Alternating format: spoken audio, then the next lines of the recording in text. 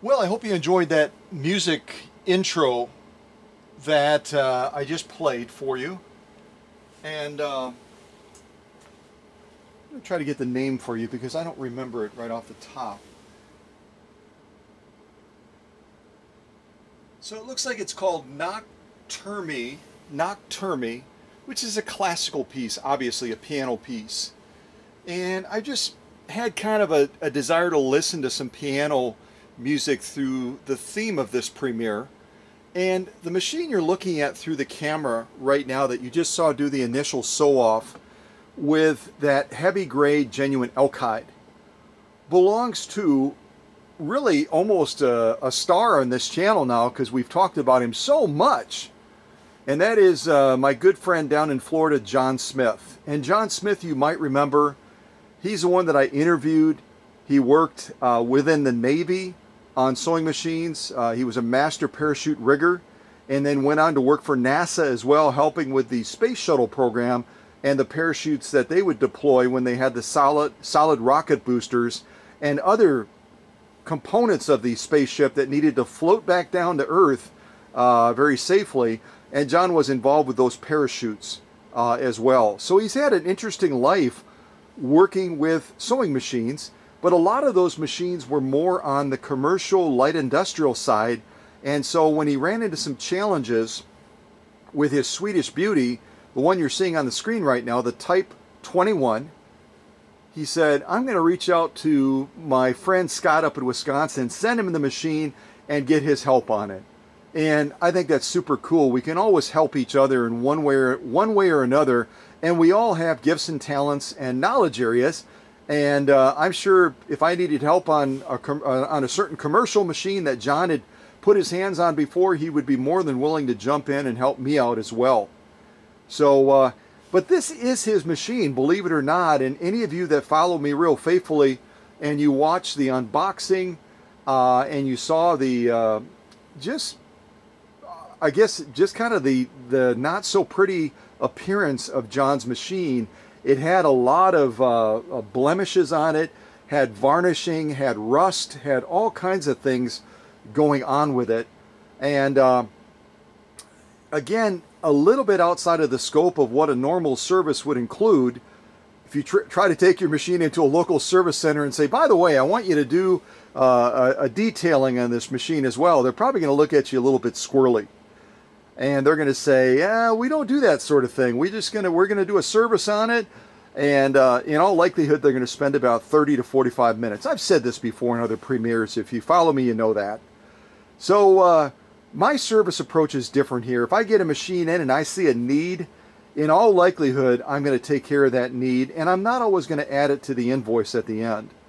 And uh, Jon is just such a, a great guy and has done so many great things in his life to uh, help our country out and through his service in the Navy, his service uh, through the programs at NASA, uh, I wanted to send his Swedish Beauty back looking different than it, than it did when it arrived.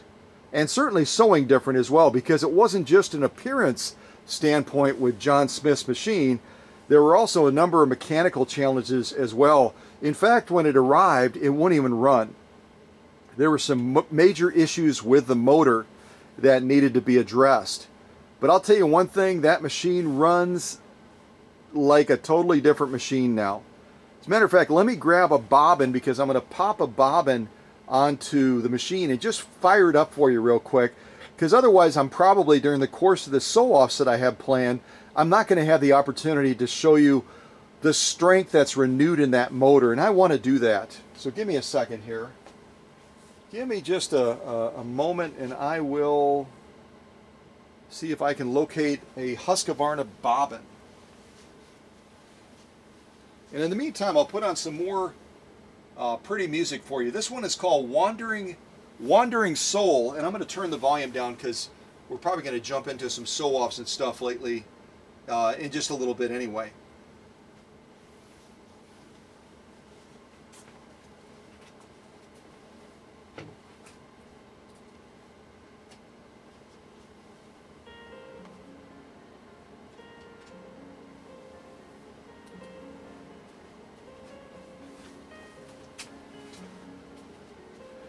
So once again, Jon's machine arrived and it was not even running. Uh, he had tried to do, uh, I think, a motor brush installation on it, and just something went south. And uh, so I had to do quite a bit of work, and we'll look at that on Facebook in a little bit. But let me fire this up for you right now and let you listen to the motor. And the way I'm going to do that is basically just uh, disengaging the clutch uh, temporarily. And uh, here we go.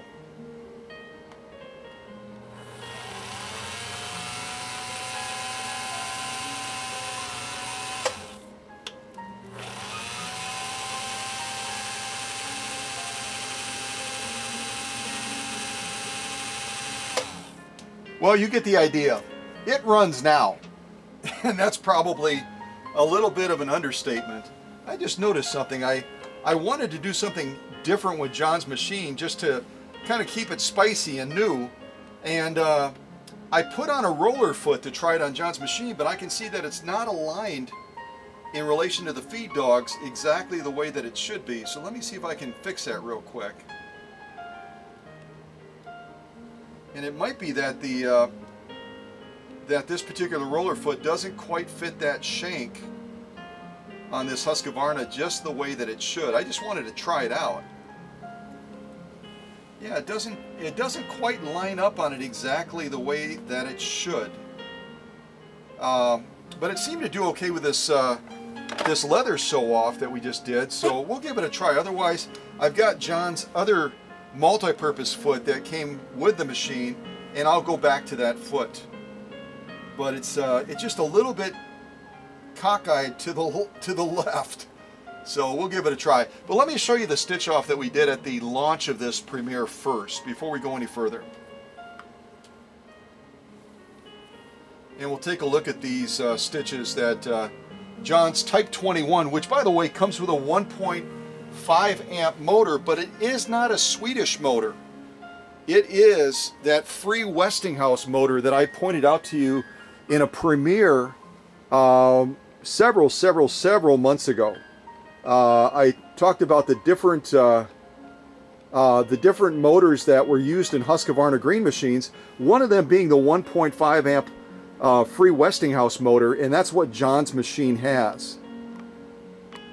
And these are the stitches we just laid down using that roller foot. And again, I, it's kind of an unknown commodity. I've never tried this particular roller foot on a Swedish Beauty before. So we'll have to see. And again, if you're brand new to this channel, let me uh, take my hand off the camera for a second once I get it lined up correctly. And I want you to look at the top of that material. This is genuine elk hide, and genuine elk hide is chemically processed. It's incredibly difficult to get through. And when you sew a, a piece like this, which is about four ounces uh, thick, you're talking about sewing the equivalent of a men's belt. A men's belt, for goodness sakes. I'm not kidding you. And uh, Jon's machine just got the job done with that renewed motor after my work on it uh, with no difficulty at all. And look at the stitches as well.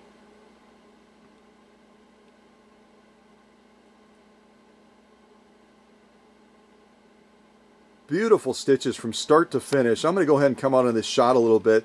So as I love to say, you can look at the totality of the stitching. Although that's such a big piece of leather, I'm way out. The stitches look pretty tiny from this distance, don't they? Let me turn it around. Let's look at that lock stitch. And we'll see how this uh, Type 21 with this Westinghouse motor, and I'm going to pull this back real quick first to try to expose those stitches. Otherwise that nap is going to make it nearly impossible to see them. I think we can see most of them now that I pulled that uh, that I pulled that nap back. I'm do it one more time.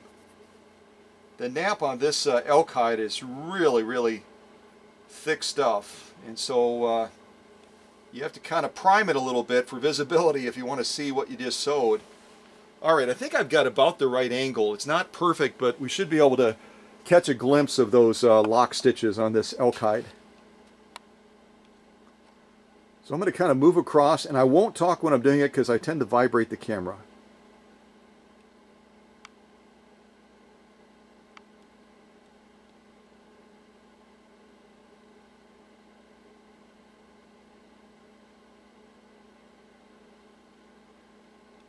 Well, I don't know what you saw, but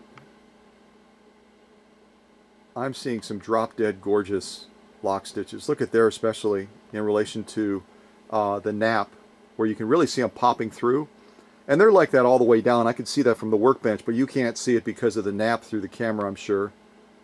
But those are gorgeous stitches. They're just they just are. They're just spot on and I can't do the totality because uh, of the length of this thing and I have to come out so far. But it's an absolute pass as far as uh, this uh, genuine elk hide. I'm going to come out on this shot a little bit so we can look at Jon's machine again because eventually we're going to be popping over to Facebook and I really want you to get this image burnt into your mind so when you see the uh, the rough state of the machine when it arrived at the workshop, I'm going to throw that to the back as a pass, you're really going to be able to contrast the two in your mind and go, holy mackerel. And this is original paint. Uh, Jon said, I can't believe you got all that that surface cleaned up to that degree uh, and we didn't lose all the patina. We didn't lose all the green color that's so classic of a Husqvarna Viking green machine.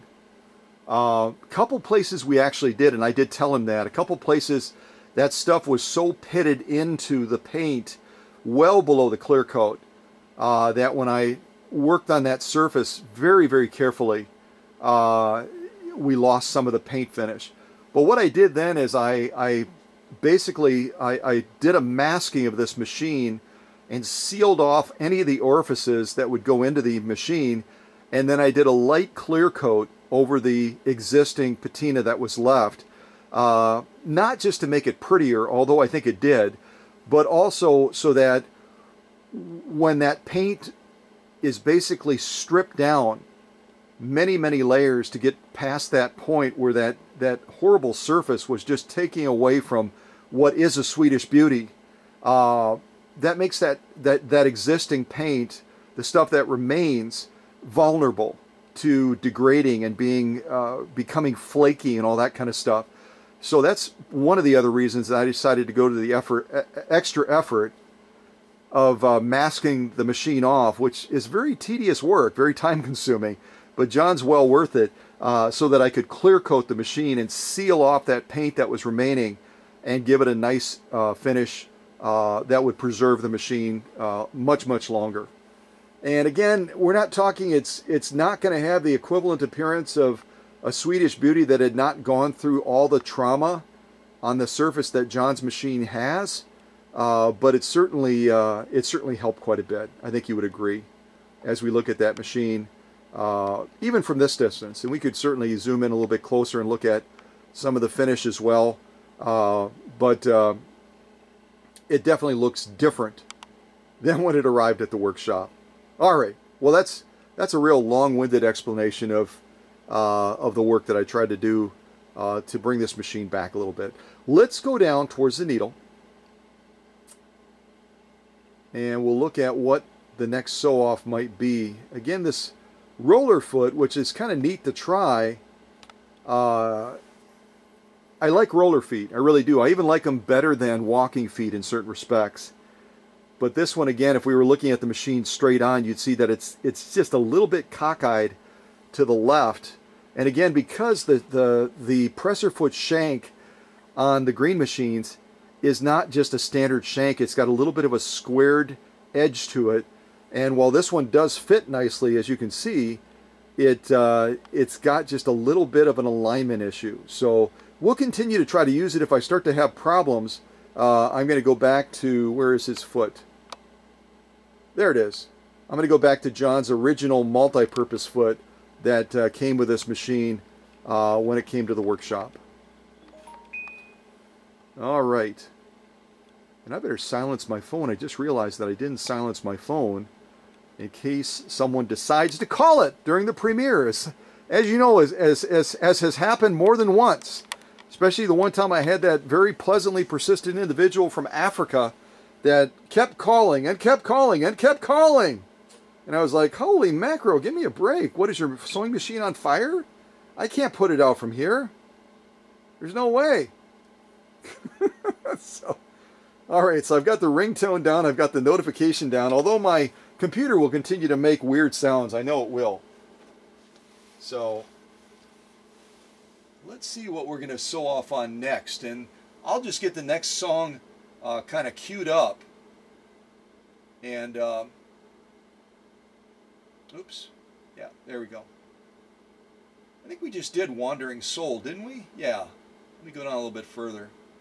So this next one is uh, that we're going to play after this next sew off is called uh, Hopeful Hopeful Freedom. Hopeful Freedom. So let me see what we can sew off on next on Jon's uh, Jon's machine. And I just want to make sure I'm not forgetting anything that I wanted to share with you.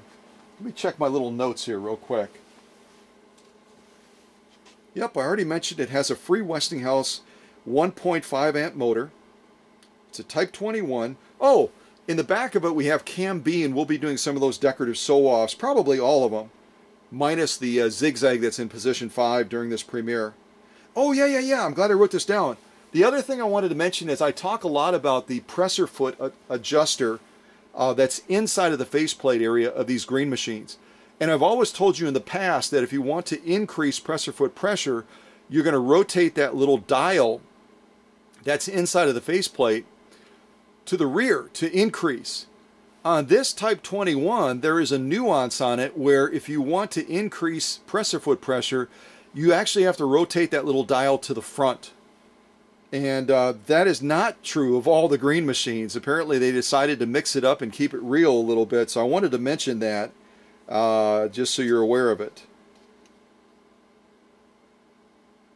What else? Okay, yep, that I think that was it. I think that's all I had on there. I didn't have a lot of notes. I just had a couple little things that I wanted to remind myself of. Because when I get into the mode of doing the premiere, I'll sometimes uh, forget to mention things. And, uh, then I get done with the premiere and it's like, oh shoot, I forgot to talk about that. So let's do, let's next do some of this uh, genuine cowhide. And I've got a pretty good sized chunk of this stuff.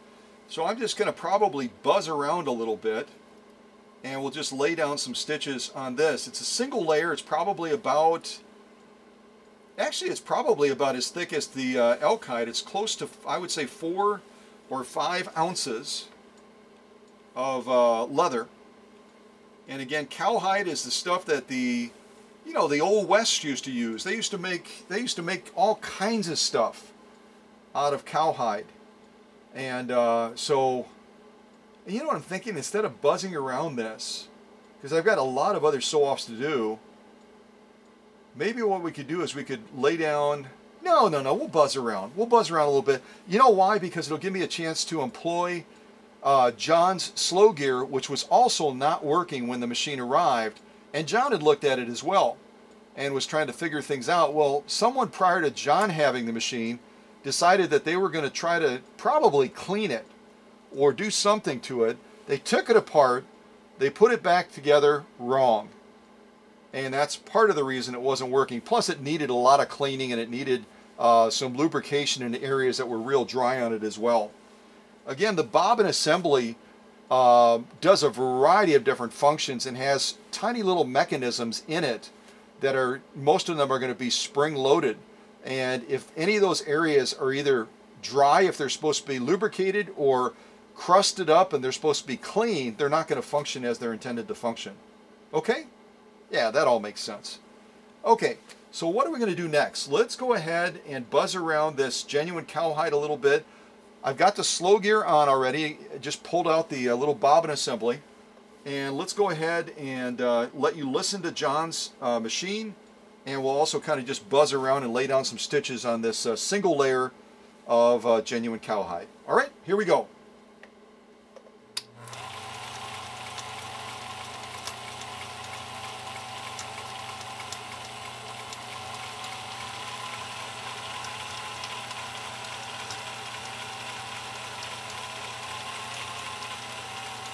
trying to turn it. I'm trying. I was trying desperately to turn it, and now I didn't have the needle down, so that'll be goofy, but we'll have a little bit of a gap point right there. When you have a roller foot on here, it's not ideal for trying to turn material. It's great for pressing that material down against the uh, feed dogs, but as far as turning it, it is not easy in the least. And that's the whole function. That's the whole function of uh, the roller foot is it's supposed to press that material down to make it more difficult to, to turn it in for that material to move. So let's head back this way. I cheated and uh, I'll re-employ that uh, slow, slow gear again, slow gear again, blah, and we'll buzz down and around again a couple more times. We're probably not going to go all the way to the center or this will be a real long premiere. All right, here we go.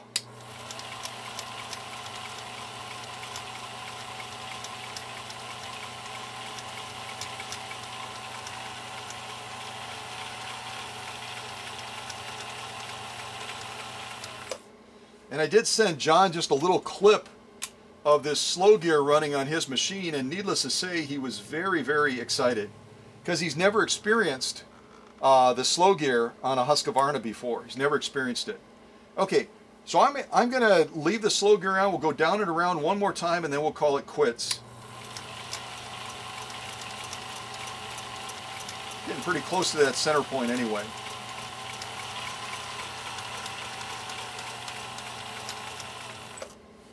All right, so I'm going to lay that needle down again.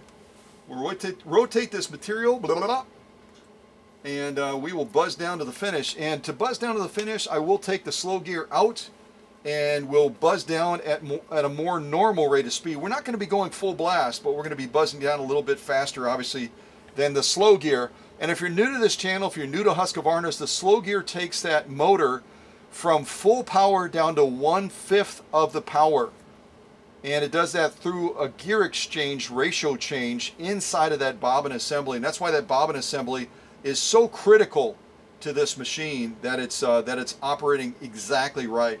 All right down to the finish.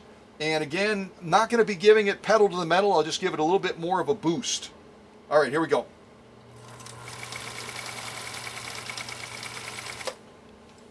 and I actually ended in the up position. If that's not the miracle of miracles, I don't know what is. And my thread that I picked kind of matches the machine a little bit. It's kind of a, a off green color. I'm sure that someone might give it a different uh, name of green or something like that, a different designation of green. I'm just going to call it an off green color. And so uh, against this light uh, genuine cowhide, I'll probably have to zoom in pretty close. As a matter of fact, I'll grab some of my uh, painter's tape and maybe we can put this, uh, unless I can kind of balance it, maybe I can kind of balance it here by the edge of the machine. We'll see if that works because I know my my little uh, sew-off holder that Maddie sent me is going to be, yeah, it's not going to quite work. Not going to quite work. Maybe what I can do is I can come off the tripod so you can see these up close and personal and then we'll uh, we'll resume uh, the sew-offs right after that. Let me do that. And I'll bring my lights in a little bit as well to kind of light those up. Although indirect lighting on those stitches sometimes actually helps. It's kind of weird how lighting and angles can and that's that's why that's why there's professional photographers of which I am not that uh, get all those right angles and everything every single time and it just their photography just looks absolutely spectacular. So I'm going to show you Jon's machine too. I'll sit down on my little stool and I'll show you his machine kind of from the front. And you'll notice it does have a little bit of a two-tone appearance to it now because on some of the areas like uh, by the uh, decaling right here I couldn't get all of that varnishing off without damaging uh, the Viking uh, branding and I didn't want to do that so I left part of the two-tone appearance, and it's kind of an interesting reminder to Jon as well as to how the machine uh, looked. Although this in this area right here, because I, I softly cleaned it, looks a lot better than the rest of the machine had looked. Uh, and uh, it's looking pretty good now. So, all right, we'll see how close we can get to these so we can hopefully see some of the stitch definition of the uh, stitches I just I just laid down.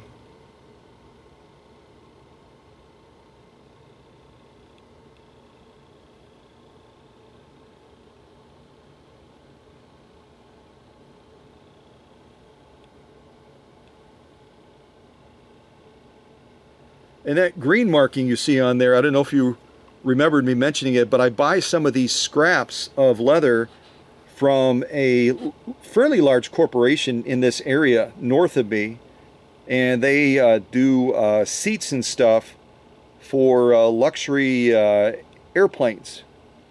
And the, the, the scraps that I buy are ones that they don't want, that they can't use. So you'll see that markup on there sometimes where they uh, marked it to cut it.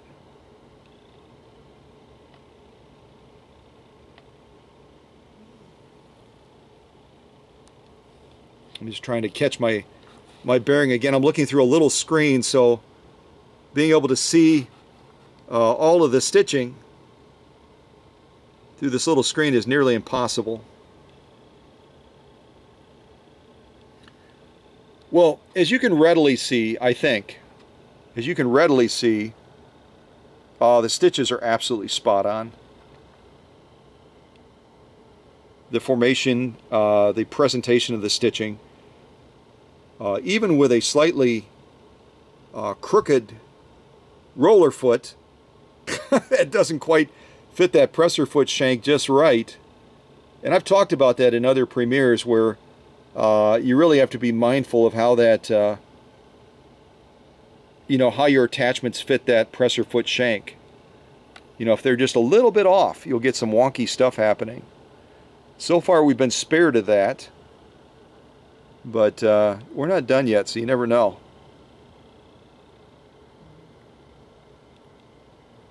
All right, I'm going to make you absolutely dizzy. But the reality is that the uh, stitching on this leather looks absolutely spectacular. Again, we went through a single layer of this uh, uh, genuine cowhide, but again, if you get real close to it, there's nothing thin about that at all. And this is going to have a real, real, real tough nap for us to see much of anything, quite honestly. Even if I get real close to it, I'll zoom way in. Um, it's going to be really, really tough for us to see uh, any of the stitching yeah, it's nearly impossible. So we're going to have to go on faith as far as that lock stitch because uh, there's no way I can hold the camera and, and, pull it back at the same time. But, uh, you know, based on what I'm seeing on that top stitch, actually if I lay it down, maybe that'll help us too a little bit. From what I'm seeing with that top stitch, um, that lock stitch is going to be equally uh, fabulous.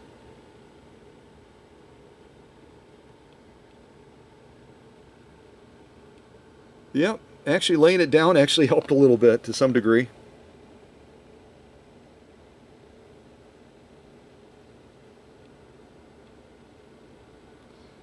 Well, you get the idea. I'm going to give it a pass. So, so far we've done a, um, a layer of elk hide, um, a layer of uh, genuine cowhide. I'm going to get the camera back up on the uh, tripod and we're going to keep on moving forward with additional sew-offs. And I still have to remember as well, we're going to do uh, decorative sew-offs too, so I don't want to run that spool too far down and all of a sudden be in a desperate position as far as uh, the uh, spool of thread inside of the machine running low. All right, let me put a little bit more music on for us. And I think I mentioned I was going to put on, um,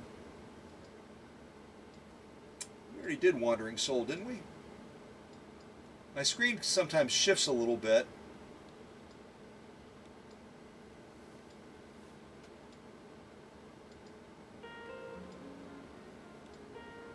I'll be honest, I don't remember if we did this already. I think we did.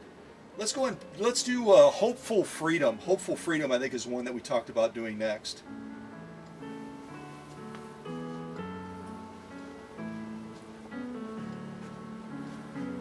All right, let's zoom down to uh, the needle and we'll move on to the next sew off. Got a number of things lined up that we can potentially sew.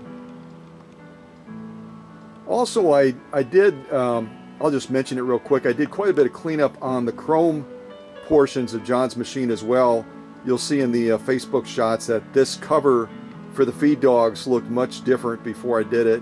And then I decided I would do the same thing uh, to the other chrome part, parts of the machine as well. Again, it's not absolutely perfect, uh, but the whole idea is to make things better than uh, when the machine arrived. So I think I've accomplished that. All right, let me plug this camera back in before I forget. And we have a battery that decides to take a dump on us.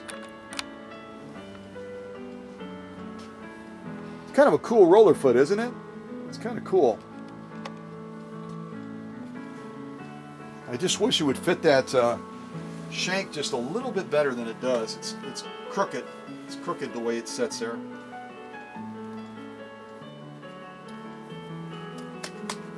I'm going to try this leather suede and we'll see how, how uh, Jon's machine does with this leather suede. And you know what I'm going to do to make my life a little bit easier? You've had a chance to see a number of sew-offs, or I should say two sew-offs, with, uh, with this uh, roller foot, which is, is nice. It's kind of different. But I was going to, yeah, I'll leave it. I was going to switch it out with the universal one because what I wanted to do with this uh, leather suede is kind of go around the edges and it's going to be really tough to make turns uh, with this stuff but I'll just I'll just put the needle down and just do it manually that's the best way to do it because with a roller foot on here it's going to be almost impossible it's almost impossible alright and I'm going to employ that slow gear again to give me a fighting chance to try to get around at least the first edge before I need to put that needle down and cheat. All right? All right, here we go. Oh, let me just check that. There we go.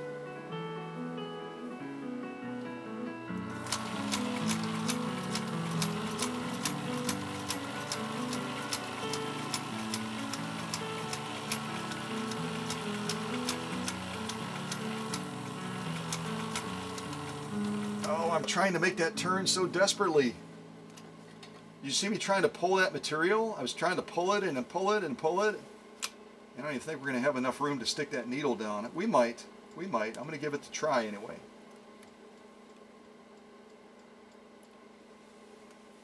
The other thing with these roller uh, wheels attachments, these roller wheel attachments, is if you don't get both of those rollers on the material, you can try to launch and you'll just spin out. You'll just totally uh, totally spin out.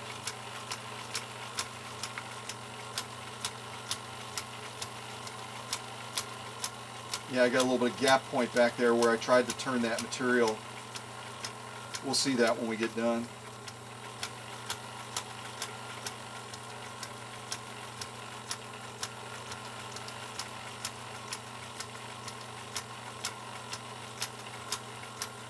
Yeah, I tried to I tried to do it gently, but that's just not going to work when you're trying to pull this leather suede and you're and you're dealing with that presser foot uh, with that roller attachment on there, basically just saying, ah, no, my whole job is to keep this material from moving left or right, and you're trying to move it left and right to manipulate it around those edges, and the roller foot is just saying, ah, no, that's my job is to keep you from doing that, so I'm going to keep working hard at that because that's what I was that's what I was designed to do.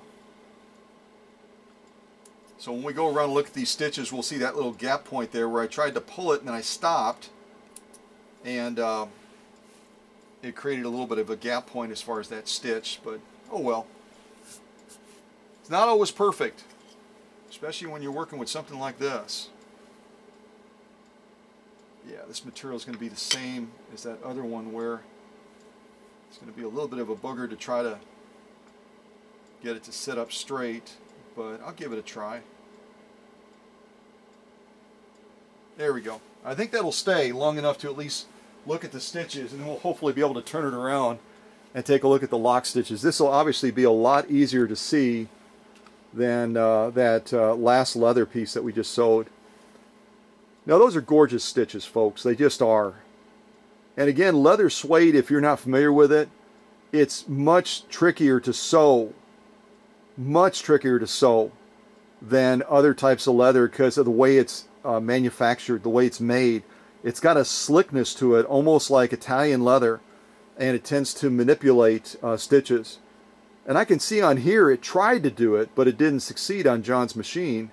Um, if you look real close at those stitches right there that I'm focused on, you'll notice, if, I stop touching the camera, you'll notice, you'll notice that you can just barely see the edge of that lock where the stitches join, uh, starting to try to come to the surface.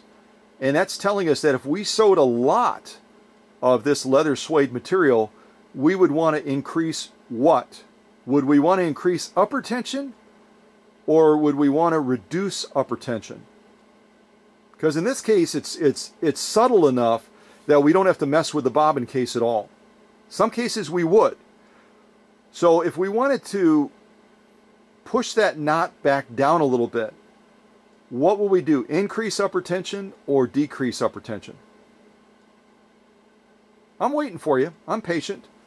I'll put on a little bit of music while you're thinking about that question that I just posed, and you can type it in the chat.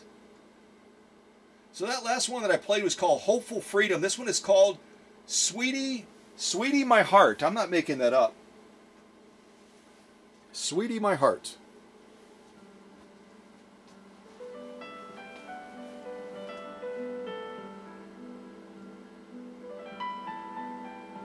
Okay, I think I've given you enough time, and I'm not looking at the chat, so you may have typed it a long time ago, and you might be saying, Scott, we already typed it, we're good. When you can see the, the, the lock, basically the knot, when you can see the knot that close to the surface, it's still into the material, but it should be a little bit further down. Uh, that is a product of the upper tension being too high. The upper tension is muscling over the bobbin pull down and it's pulling that knot up higher to the surface than it should. So what we would do in this instance, if we were sewing a lot of, of leather suede, is we would back off that upper tension just slightly to allow that bobbin case to have the victory and to pull that knot back down. Again, the bobbin case is going to pull the knot down. If the upper tension is too strong, it's going to pull the knot up too high like it did in this case. It's still a beautiful stitch. It's a very, very good looking stitch. You can look at it and go, that's a gorgeous stitch, Scott. I don't know what you're seeing, buddy. Well, what I'm talking about is if you want to, you're never maybe going to hit perfection, but if you don't aim for it, you're never going to come even close to it. So I would make a fine adjustment if we were sewing a lot of leather suede. I would back off that upper tension slightly, which would allow that bobbin to pull it down a little bit further, and then that knot that you can see right now just barely would disappear and all you would see is a perfect top stitch, which we pretty much have already. It's real close.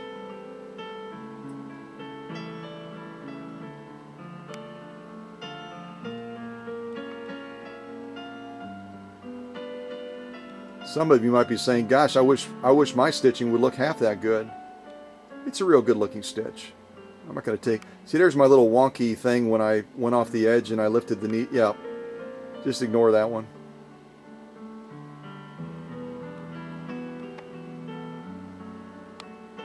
It's a very good looking stitch.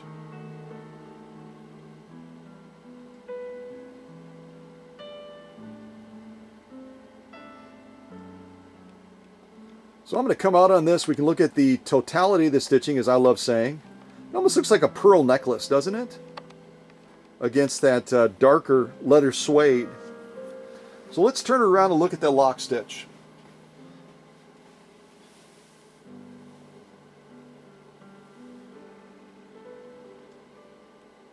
Well, the problem with leather suede too is it acts like a little vacuum cleaner. It picks up all the lint and the other stuff that's anywhere near it.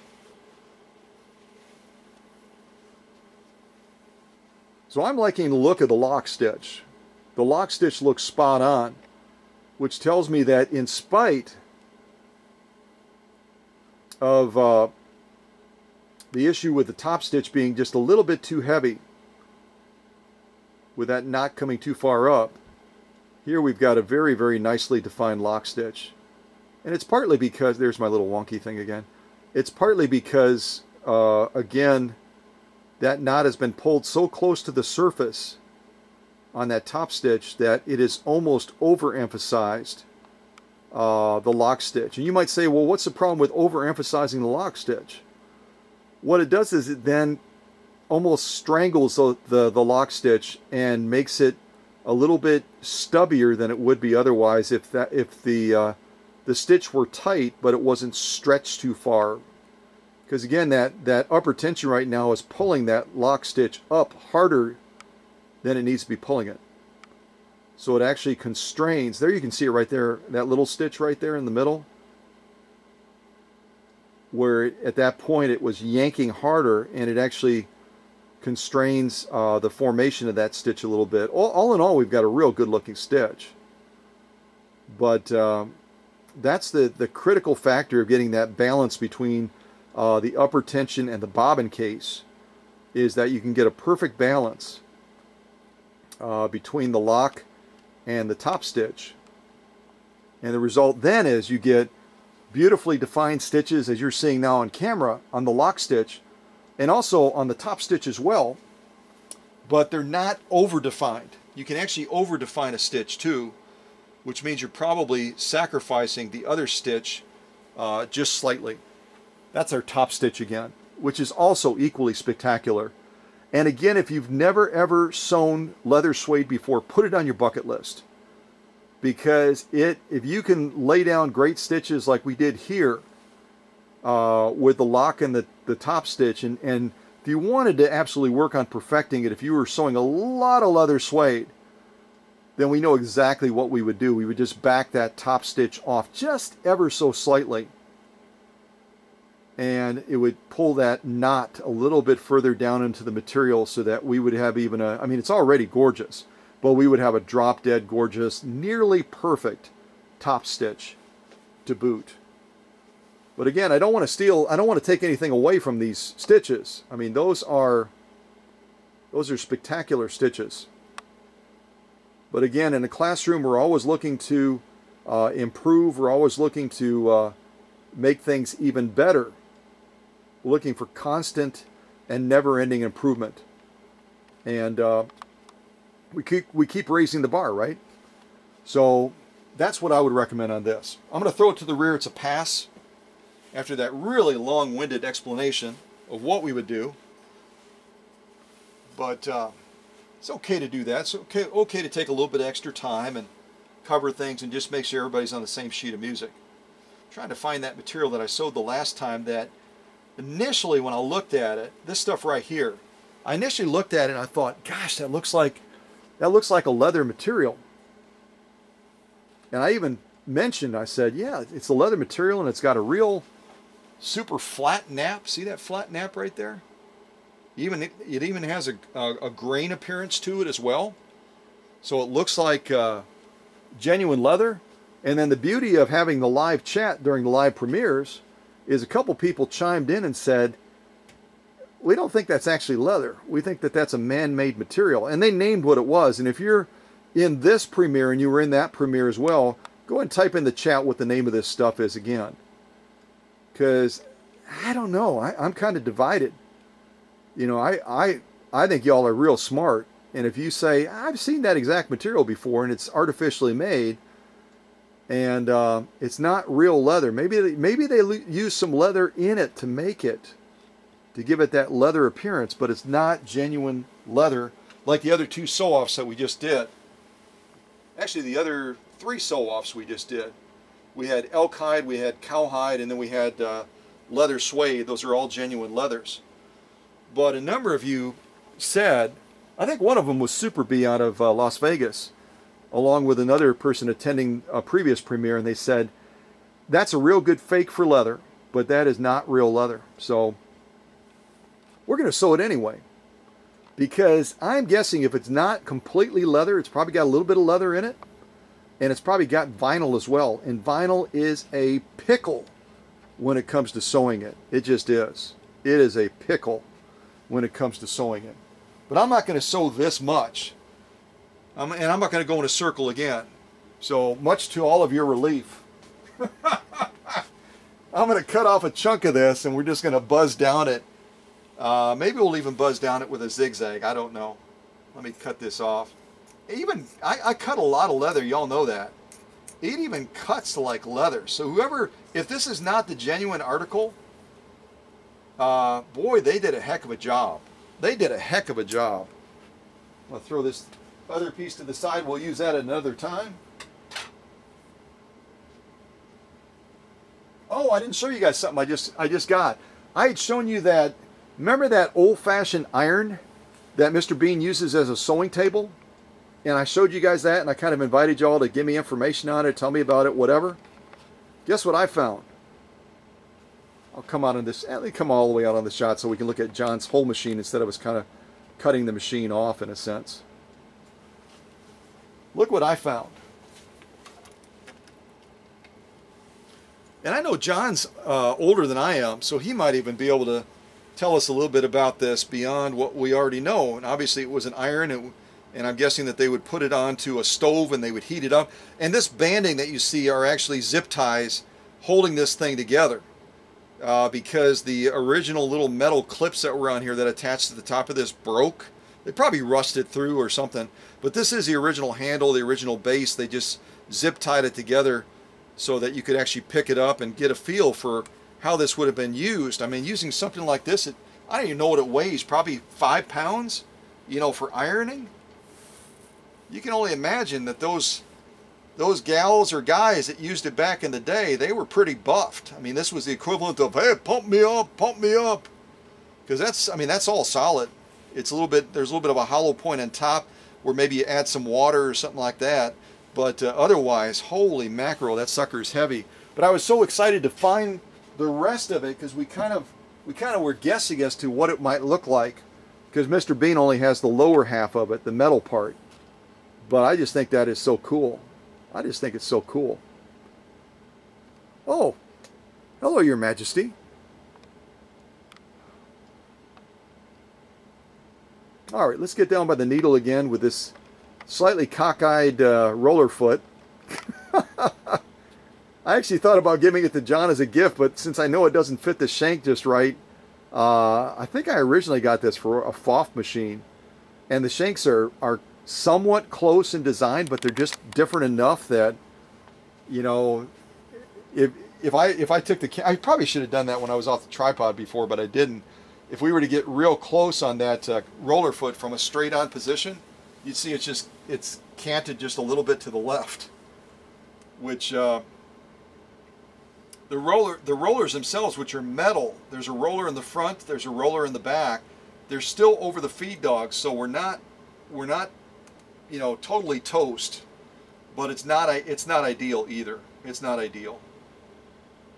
And again, when you're launching with something like this and, and a roller foot, while you would want to get it closer to the edge so you could get your stitch closer to the end of the material, if you don't get it under both of those roller foots, uh, you're in a world of hurt because it starts to bunch up and the one roller foot is against the feed dogs, it's trying to roll it, the other one doesn't have a grip on the material, and it just creates a, creates a little bit of a mess. So we'll sacrifice the end of the material and try to get a better launch on this. So what, what should I sew next? Got a single layer of this stuff that probably has some leather in it, but it may not be all genuine leather. We could lay down one of the decorative stitches, or we could lay down a zigzag, just standard old zigzag on it. I think I'll do a zigzag, but I'll make it a modified zigzag. So I'm going to take my stitch width down to about two and a half, and I'm going to take my uh, stitch length and move that down to about uh, probably about just around three, three and a half, somewhere in that realm. And we'll buzz down this laying down a modified zigzag. All right, are you ready? Here we go.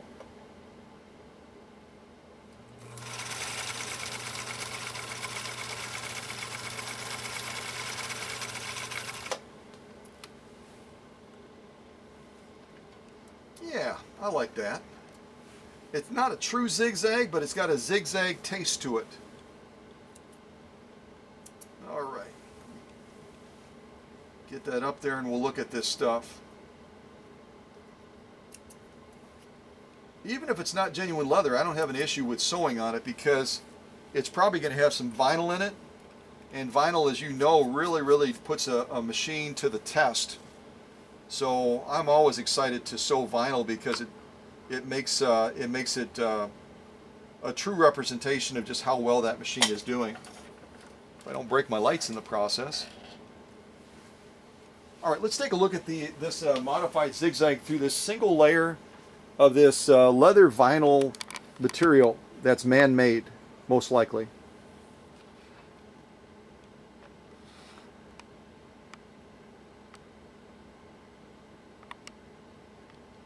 Just look at that surface though, and that surface just says this is not an easy material to sew.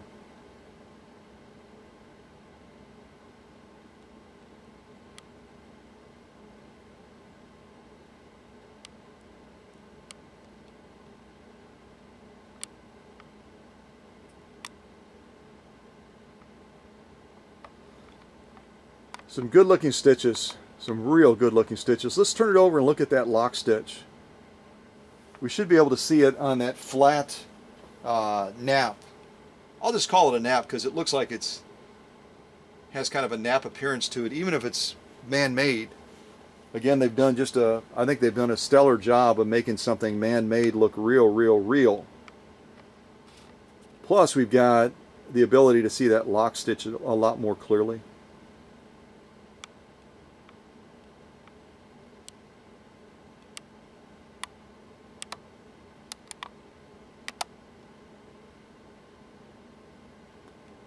Absolutely spot on. That sure looks like leather, doesn't it?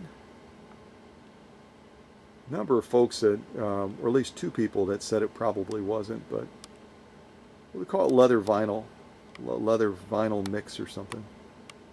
Kind of like when they make particle boards, you know. Particle boards are made out of wood, but they're not genuine wood. But if you ever tried to nail a nail in particle boards, holy mackerel. So coming out from a distance is, I mean, it doesn't do much other than show us what appears to be the nap of the material. And uh, Jon's machine did a, a, fabulous job on this material as well. So I'm going to throw that to the back with the other leather stuff. I'll move this uh, little sew-off holder to the side. What else can we sew? I've got another material I'm pretty sure is leather, but it's not pure leather. It's got a layer of leather on it and then it's got another backing. It's going to be similar to that last stuff that we just sewed. See that? I don't have my screen facing. Probably don't have it locked either. See this stuff? Looks like the kind of stuff you'd have on the old office chairs. It's probably got some leather in it as well, but then it has a different soft background on it. The backing on it is, uh, the backing of it is real soft and smooth, which means it's probably real slippery. So probably not super easy to sew, which is why we're going to do it. So again, I'm going to do a single layer of this. I'll cut it down. We'll make it a little bit smaller so we don't waste it. I'll use the rest on another sew off and we'll buzz down this as well. And we can sew this one with Jon's slow gear because we're just going on a straight line. So I don't have to worry about that roller foot saying, you're not going to turn. No way, buddy. It's not going to happen.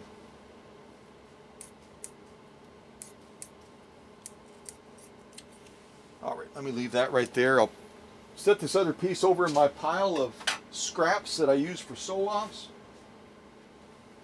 And we'll see how Jon's uh, machine does. I'm all over the place. We'll see how Jon's machine does on this stuff. And this, again, may be a manufactured uh, type material, but I'm guessing that, that kind of like the you know how they they you, when you look at shoes they have something like a leather upper that sort of thing where part of the shoe is leather. The rest of it they use like a vinyl fake appearance type material on it.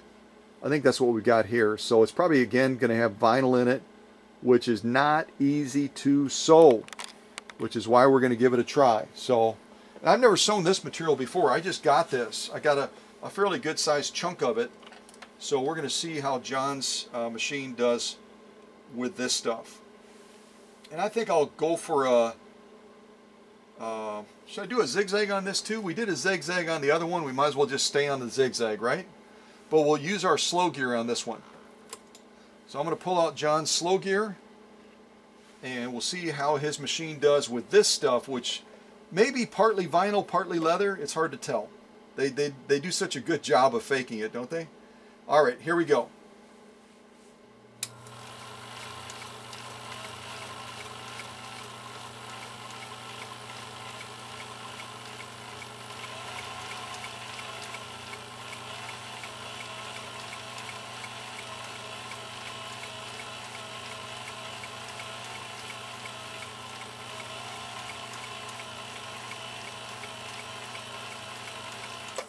You see the benefit of that slow gear as we're going down that material? And it's doing just a spectacular job of harnessing the power of that 1.5 amp motor. I mean, that's one of the, even though it's a Westinghouse motor, and I've talked about this in other premieres, the Husqvarna Viking sewing machine company likely had a vetting process, vet, a vetting process, a vetting process that far surpasses anything that a governmental type agency would do as a private uh, company. And I bet you they had requirements of the Westinghouse company in how they produce that motor and QAs and checks and rechecks and everything else that would have just been been crazy. It would have been literally crazy in uh, how they uh, ran the Free Westinghouse people through the, uh, you know, through the wringer, basically, and saying this is this is our standard. It can't be less. It can't be, you know, anything deviating from that. It's got to be exactly the way that we want it. What did Free Westinghouse say with a contract of that size? Yeah, yes, sir. Yes, ma'am. We'll do that. We'll do that right away. So here again is this material which may have some leather in it, it may have some vinyl in it, may have leather and vinyl in it, but nonetheless it is not an easy material to sew. And yet Jon's machine, well, you can see it. If I stay on course you can see it.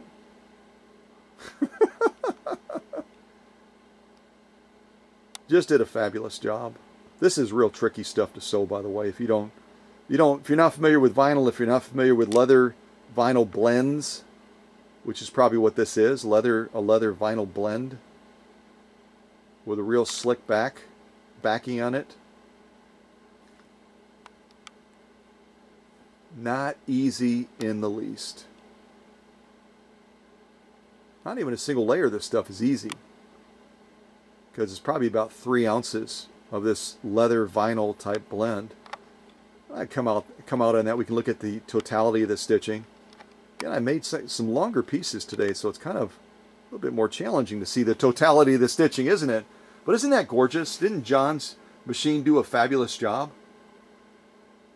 And again, if it's a leather vinyl blend, the piercing threshold of that when you incorporate that vinyl into it, especially with that additional slippery uh, backing on it, uh, you're really setting yourself up for a challenge as far as uh, stitch uh, distortion. But I'm liking this stuff a lot. Look at how that lock stitch presents on this type of material with that backing, that gray backing that they give you. You can really, really see those lock stitches well defined.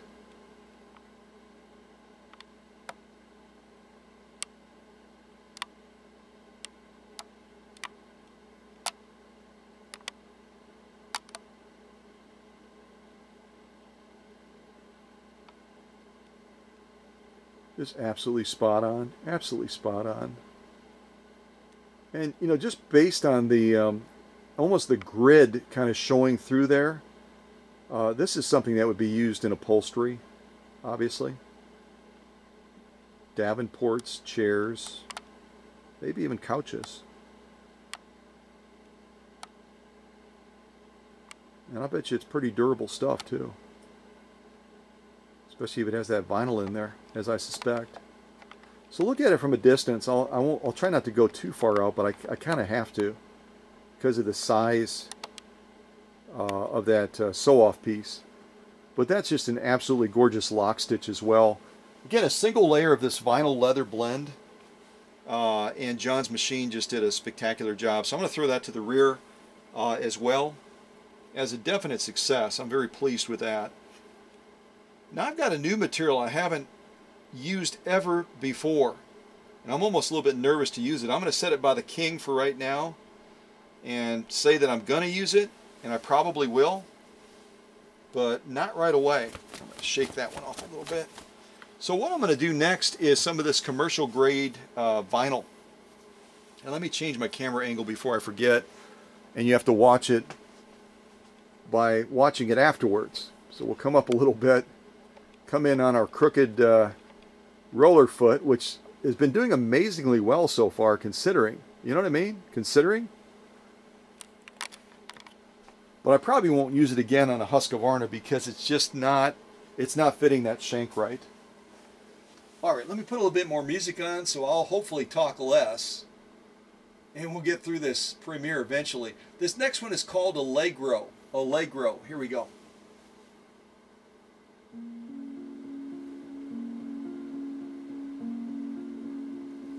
On some of these other ones that are coming up, I can kind of see them. Uh, we've heard a number of these before. All right, so let's do this commercial grade uh, canvas. I got this weird, weird little curly thing right on the edge here. I'm almost tempted to cut that off, but that roller foot will press that down nice and nice and easy when we get to that point, hopefully. So we're starting with two layers, right? I'm going to go ahead and fold it uh, over once. Get us up to uh, four layers Kind of deciding how I want to do this. I fold it again, it's going to get us up to, to, to six layers. Let me shorten this just a little bit. I want to try eight layers, even though this stuff is crazy, crazy tough. So four layers, six layers, eight layers. I'm pretty close. If, if I go down the middle, see how I folded that a little bit short? Just a little bit short. But if I go right down the middle, we'll hit all of those eight layers. I'm even going to stretch it a little bit. All right, so this is what we're going to attempt. Once I get that stuff off of there. I know, it's insane. It's absolutely, are you out of your mind, Scott? Yeah, a little bit, but that's okay. It makes for a more fun classroom, doesn't it? So I'm going to slide that into position. Hopefully I can fit it underneath this roller foot because that is the thick of the thick of the thick. There we go. Get that roller foot down on top of that, pressing that into the feed dogs, and I'm hoping we'll be able to buzz down this successfully, although I'll be honest with you, we'll have to wait and see. We'll have to wait and see. I think the last time I used this commercial grade uh, canvas, I only went six layers. So I'm going two layers higher on Jon's Type 21 with that 1.5 amp free Westinghouse motor. So we'll have to see. We'll have to see. Maybe I maybe I bit off more than I can chew, and if that's the case, uh, then I'll step it back. Let me just take a look back here. I'll step it back to uh, six layers, and we'll just march on forward, and that's okay. That's okay. Sometimes in the classroom you change the lesson lesson plan. Our lesson plan right now is to see how Jon's machine does with eight layers of commercial grade canvas.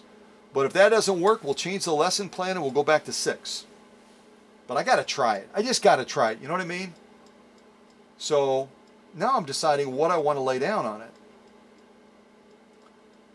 We did a zigzag a couple times already. We can go back to a straight stitch. That certainly is an option to us lay down a straight stitch. We could even lay down a shorter straight stitch so that we're really making the intensity of that hook movement in the raceway really have to attack that fast and furious. Now that might, when we go that short, it might result in some skip stitches. So I'm just saying that in advance. If we if we don't get any skip stitches, then I will be absolutely elated because eight layers of canvas, sewing a stitch that's a little bit shorter, we're really, really pushing Jon's machine to the limits. Now, yes, I did all the motor work. Yes, I reworked uh, and cleaned and uh, re, how would I say this? I reassembled the bobbin winding assembly correctly. I rewired the machine with a new power cord and all of that. But this still may be a little bit too much for uh, Jon's Type 21. We'll have to see. We'll have to see. I have no idea. And then the question is, do I do it a slow gear or do I do it full speed? I'm going to go slow gear. Let's go slow gear on this and just see how Jon's machine does. This is not going to be easy, folks. This is not going to be easy. I'm a little bit nervous. A little bit nervous. Eight layers of heavy grade, commercial grade, I should say, uh, canvas. Here we go. Keep your fingers crossed. Keep your fingers crossed. Here we go.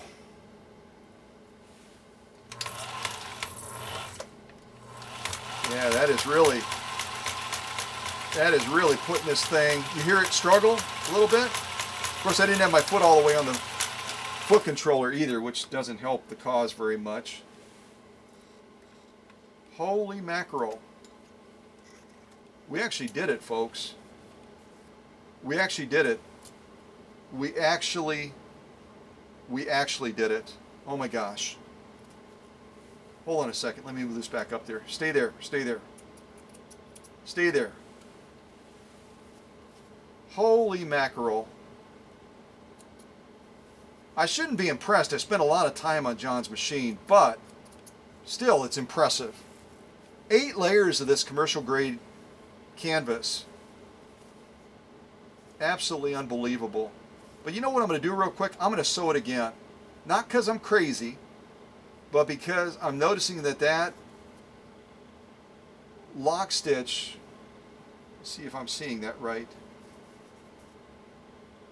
Yeah, the lock stitch doesn't look bad. It actually looks really good. Maybe I won't sew it again. At any rate, this is what we just went through, folks. Eight layers of commercial grade canvas. So I'm going to show you the stitch first, and then I'm going to contemplate it a little bit more if I'm going to try it one more time. Because I don't want to push my luck either, if you know what I mean. So here is our top stitch. kind of bending this back a little bit so we can get it to set nicely. See how it has a little, it's almost like a cowlick on the back of there? So it's trying to push it off of this. Yeah, that's not going to work. It keeps trying to push it off of there. Maybe I can lean it like this. Maybe that'll work. Yeah, that'll work. So I kind of have it leaning against Maddie's uh, sew-off holder and resting on that little place setting thing that I have there now underneath the machine. Let's go down there and look at this. And again, I did set that stitch length down just a little bit to make it even more difficult. And again, if you see the line kind of wavy a little bit, that's not that I didn't sew it straight, although it might be. It's more likely that, again, that roller foot is pushing this material uh, to the left a little bit because it's not squarely centered on that uh, presser foot shank. But those are gorgeous stitches. Spacing the formation. Holy mackerel. I don't even look at that. It's almost terrifying. Gorgeous, gorgeous, gorgeous stitching. Again, we're talking eight layers of commercial grade canvas, folks. Let's look at look at the uh, totality of the stitching. I can actually bring it in a little bit because I didn't saw all the way to the end. That is impressive. That is very impressive. Let's look at the lock stitch. Let's try to look at the lock stitch. See that thing as it's popping up? I'm going to cut that off because that's irritating me. Hold on a second. We'll cut that little tail off so that it can't continue curling up like that any longer.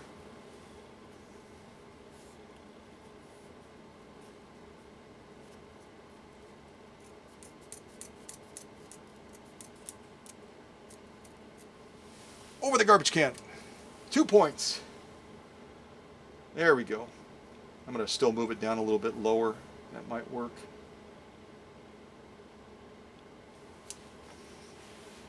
Again, when you're doing this on a live premiere and you're doing it in front of the camera, what you might think from your, you know, your chair, your couch, wherever you're watching this premiere, boy, that, that should be a lot easier than that. It's not. Trust me. If you've ever been on camera, it changes every dynamic about you doing basic things like blowing your nose. And I've been doing this a long time. Not necessarily slowing machines, but blowing my nose. I've been doing it a long time.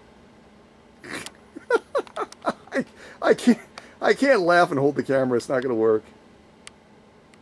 So this is our lock stitch, and uh, those stitches are spot on. Again, I might increase that upper tension just slightly to tweak them a little bit, but all in all, they're coming through very nicely. And again, we're talking about eight layers of commercial grade canvas, folks. Not easy in the least, especially when you have a roller foot that's cockeyed to the left. But I'm not going to make excuses. I'm going to say that I'm very pleased with that lock stitch. We didn't have a single missed stitch going through this many layers of commercial grade canvas. Eight layers. So I think we had an absolute success. And again, look at that. I got to turn my camera around here. Look at that from the side. Where am I? Oh, there I am. You get that from the side. I've said it before, that's like a Chicago phone book or something. Great stitching uh, on both sides. Let me come down here because I'm way off course here. Beautiful top stitch. Beautiful lock stitch. It's a definite pass. I'm going to throw it to the back. Throw it to the back. Let's move on.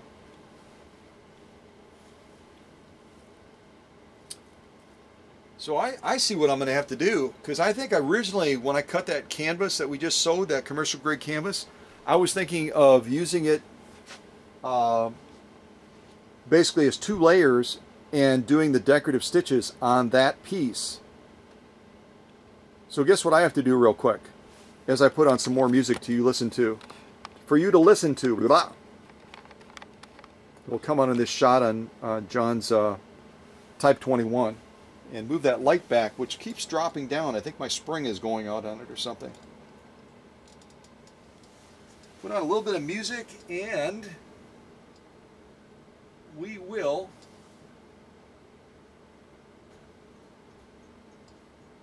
go on to the next sew off. Hold on a second.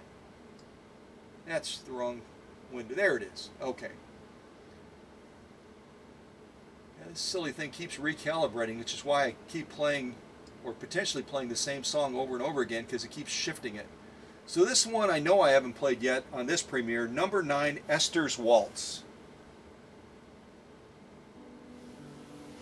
As I cut some more material, because I use the material for the eight layers, the, the eight layer sew off for the commercial grade canvas, which is fine. I'll just cut another piece.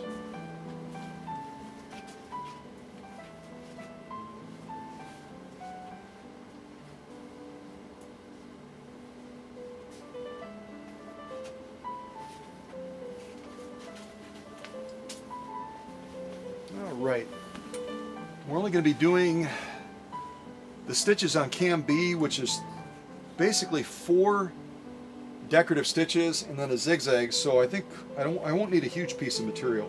I don't think I will.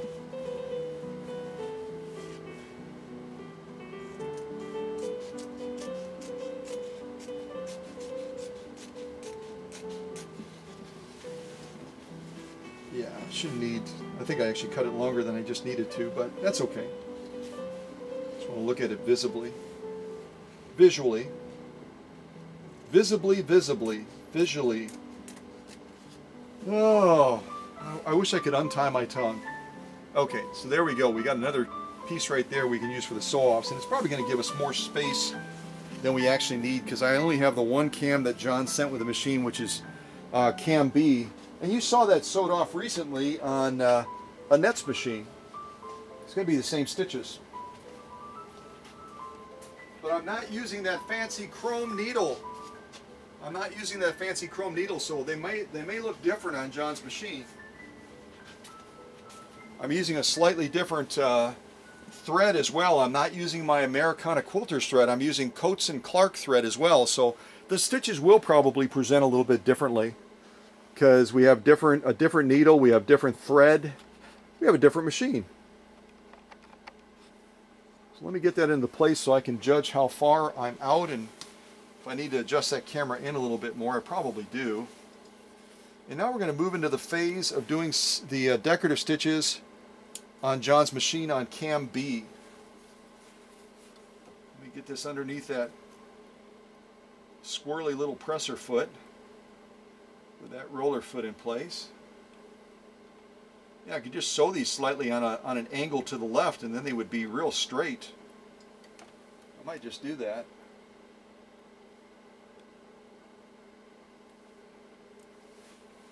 Yeah, I got the material a little bit to the left, canted a little bit to the left so that I can uh, hopefully use that presser foot more effectively since it's not lined up correctly.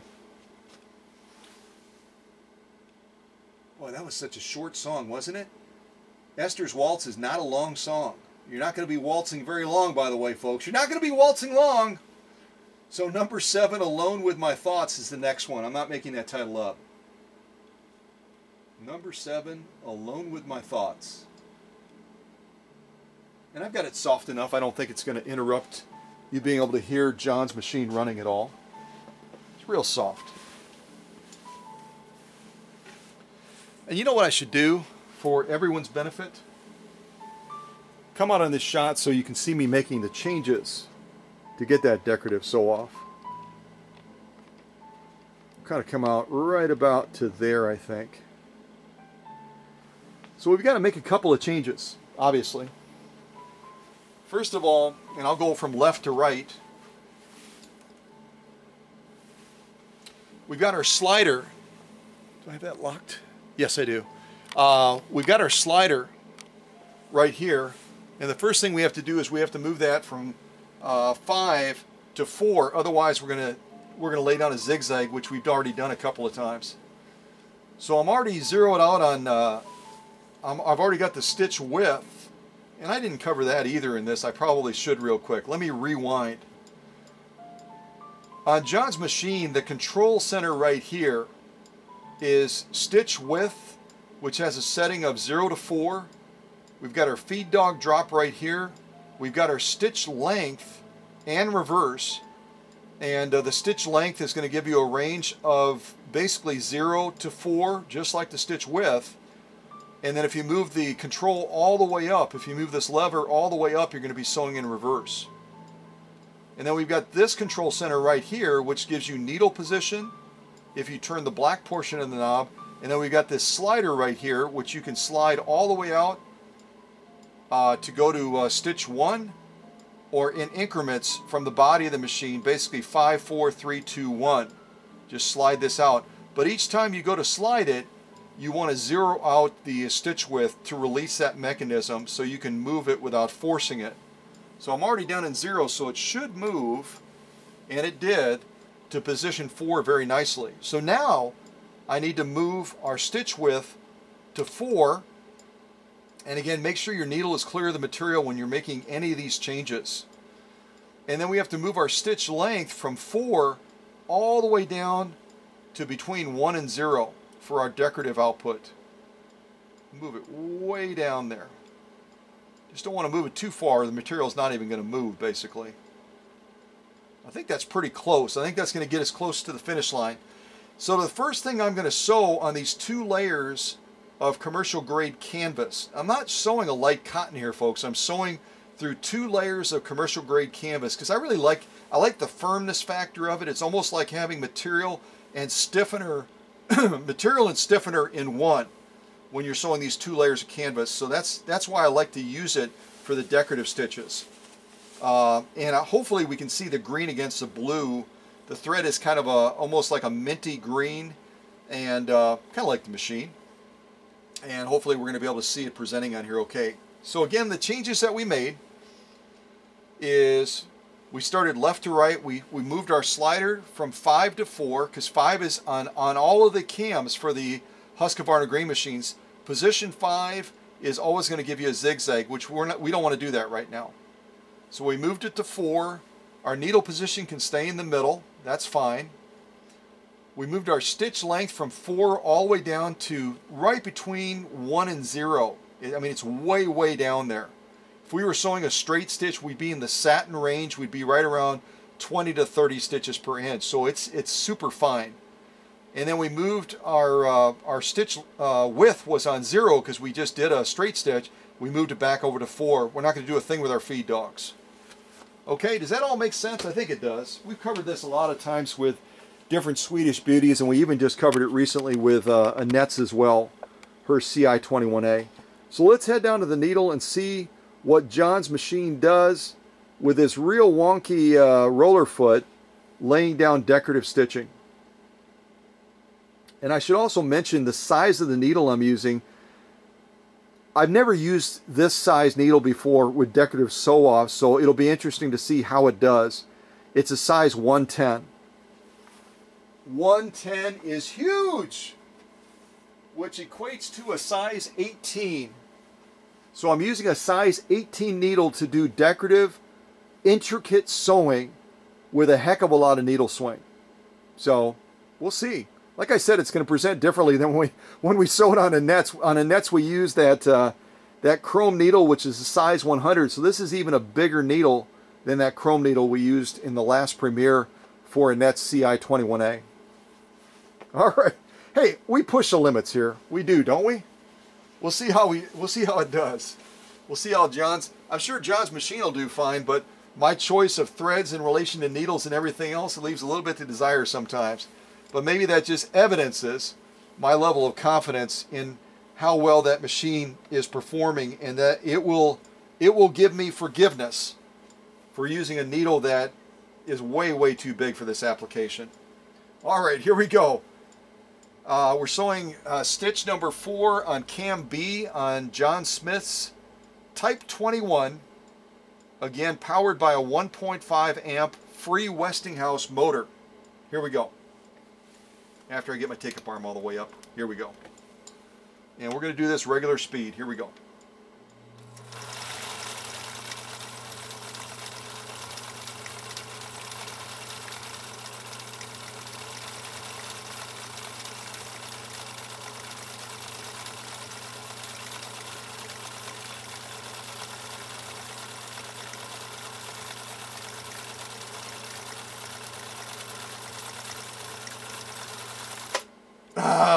I ended in the down position. I was hoping for the up position.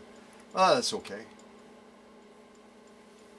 That is a pretty stitch, isn't it? You've seen this before, and you can actually see it right now, and I can't because I have the camera screen facing the wrong way.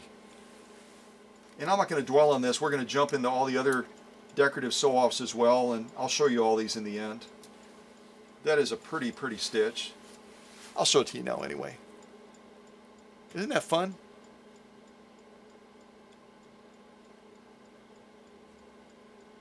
Oh, I'm touching. I'm running out of. I haven't cut the uh, the uh, thread from the uh, machine yet, so I'm like, why? did, Why did it stop? It's like an anchor. It's like, no, you're not going any further, buddy. You're not going any further. Now I can go as far as I want. See? And for sewing with a size 110 needle, that's really, really, really impressive. That's really impressive. Let's move on to the next uh, stitch. And we'll see if Jon's machine continues to perform as well as it has through all of these sew-offs. It's just done a spectacular job. And when, again, when it, when it arrived at the workshop, when his Swedish Beauty got here, it wasn't even sewing. It wasn't sewing at all because it had a major uh, motor issue going on with it. All right, let's do this next one. And I don't have to make it too scrunched because I got a huge piece of material here. So now we're going to be taking our stitch width down to zero to recalibrate that mechanism to allow that cam slider, the little silver slider, to move to stitch number three without you having to battle it. Now I'm going to move my stitch width back to four. Our stitch length is going to stay exactly where it's at, right around uh, between one and, uh, it's probably close to 0.5 very close to 0.5 on this uh, Type 21. All right, here goes our next stitch off, which again is stitch number three on cam B. All right, here we go.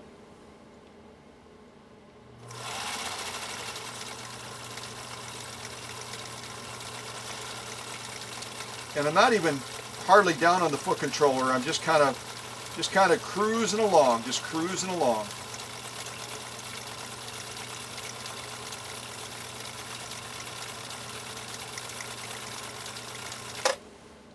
Yes! In the up position. Oh, that's a victory. That's a victory. Okay, it's our little pine cone thingy stitch. That's the official name too. Our pine cone thingy stitch.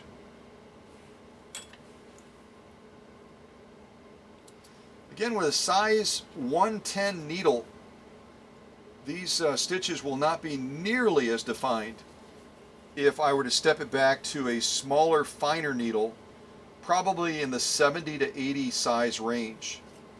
70 to 80 size range. All right, let's move on to that next stitch. I still like this one.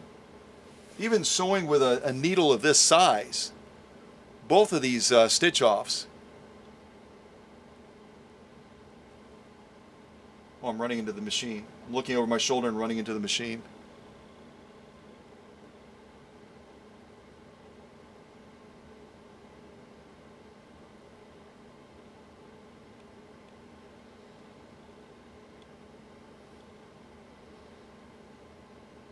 Yeah, yeah, those are awesome. Those are awesome. Imagine if you sewed it with a needle that was more appropriate for doing decorative ornamental type sewing. But we don't always follow the rules in the classroom. We just don't. We're rebels. We don't always follow the rules. Alright, so the next stitch I'm going to do off of cam B is going to be stitch uh, number two, but I've got to zero out the stitch width first, then move my little slider, take the stitch width back up to four, and again, whenever you're making changes like this, you always, always, always make sure your needle is clear of the material, okay? Always make sure it's clear because you're going to see that needle is moving around as you're making those changes. All right, so here is stitch number two on cam B on Jon Smith's Type 21 powered by a 1.5 amp free Westinghouse motor. Shebang!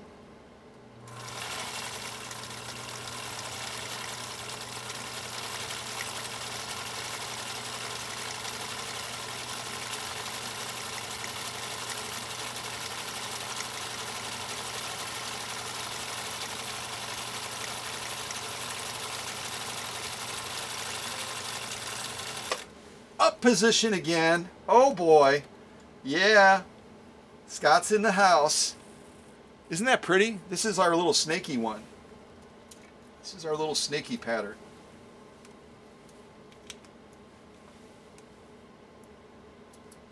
And if you saw the recent premiere on Sherry's new home machine, all mechanical new home machine, I'm trying to remember the number, it's like SL2022 or something like that uh, I make it a point of highlighting that New Home eventually evolved or was absorbed or transformed or something like that into Janome.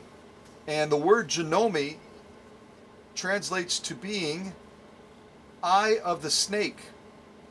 So we just we just sewed the snake minus the eye. Or maybe the eye is in there, I don't know. We'd have to look at it real close. Well, let me show you this uh, stitch as well once I get this material kind of not curling. There we go. So the one on the far right is the one that we just sewed. I have to reverse it because when I look at my little screen, it's actually the one on the far left. But it's the one on the far right that we just sewed. Aren't those beautiful? Jon's machine not only sews up a storm now, but it lays down, even with a size 110 needle, it lays down some gorgeous cam-generated decorative stitching. And if Jon wants to replicate these using a size 70 or 80 needle and send them to me, send pics to me, uh, I'll post them on Facebook. Because I can guarantee they're going to look a lot sharper than these, and these are super sharp as far as their appearance.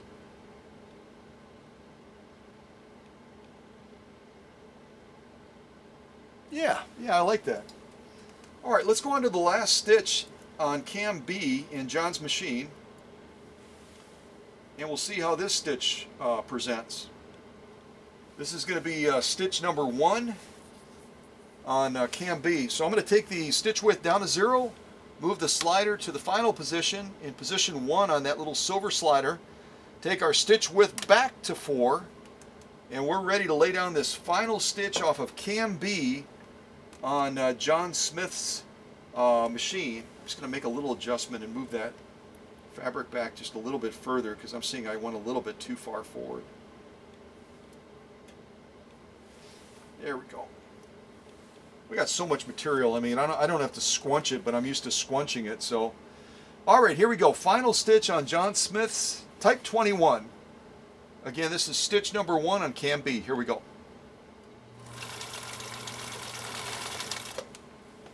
Oh, I bet you I'm too short for this type of stitch. So here's what I'm going to do real quick. I'm going to rotate my needle up Sometimes that happens. Some stitches you can push that stitch length tolerance way, way, way, way down. Others you're going to have to adjust it up just slightly, otherwise you're not going to get material movement. So we're going to have a little weird thing at the beginning of this, but it should be okay uh, now that I've adjusted that stitch length down a little bit so we're not pushing it quite as far. Let's see what happens. Here we go.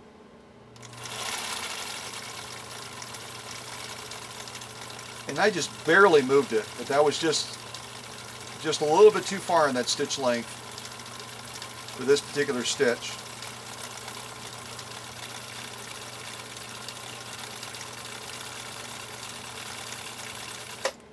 And the needle's in the up position.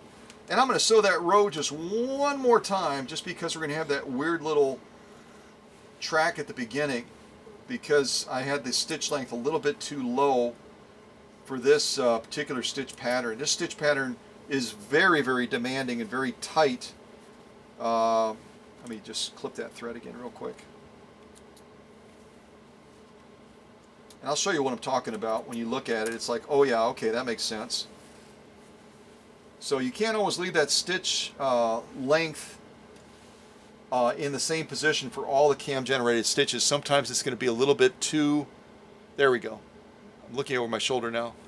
So the last stitch we just did is this one on the far right and you can see our little spin out here at the beginning because that material was just not moving because of how intricate that uh, that particular cam generated stitch is. But once I made that just subtle little adjustment, I just made it a little bit longer.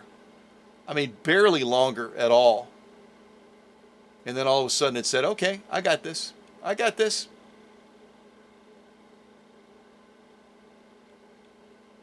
Beautiful stitch. We're going to do it one more time because I want to have a perfect stitch line or near perfect stitch line that I can send with this machine. I always send these stitch offs with the machine to the customer. So as they look at that premiere and they and most often an owner will watch that premiere multiple times because it's just kind of cool to see your machine on the big screen or to see it on your iPad or whatever it is and to revisit just how well that machine did. We don't want to leave this stitch line nearly perfect, but it's got that little skid out at the at the beginning.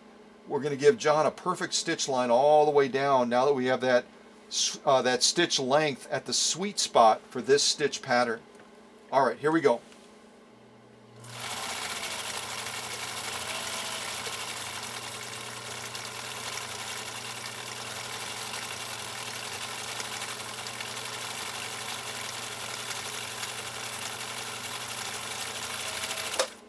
And the needle's in the up position, thank you. There we go. Now we've got a stitch line that is absolutely as it should be. And even that other stitch line that had that little skid at the, at the beginning of it because the material wasn't moving, that's still gorgeous too. That's absolutely gorgeous. Okay, so looking over my shoulder, yeah, we'll have to come on in this shot a little bit. Now I'm going to trim off that extra material on the bottom just because it'll sit on that uh, stitch off holder a lot easier if I do that. Let me come out on the shot a little bit and uh, and then I'll do that quick trim and then we'll come back in on the stitches again. Again, I just I just think it's fun to look at Jon's machine and we're going to pop over to Facebook real quick. And you, you, if you haven't seen those Facebook shots, if you're uh, you know only a YouTuber, uh, I think you'll be pretty impressed at uh, the transformation of Jon's Swedish Beauty from what I would almost call kind of oogly. Oogly, as I explained to Jon, is something my favorite uncle, Uncle Al, would always say when he was describing something that was pretty, but it was kind of ugly too. And that's kind of how I would have described Jon's machine when it arrived. It was still pretty. It's a Swedish beauty. You can't take that away from the machine. But it was also a little bit ugly too, just because the patina and the finish was just so rough and so potted and just was really, it wasn't pleasant to look at. But she sure is pleasant to look at now, isn't she? Let me just trim this uh, material off a little bit.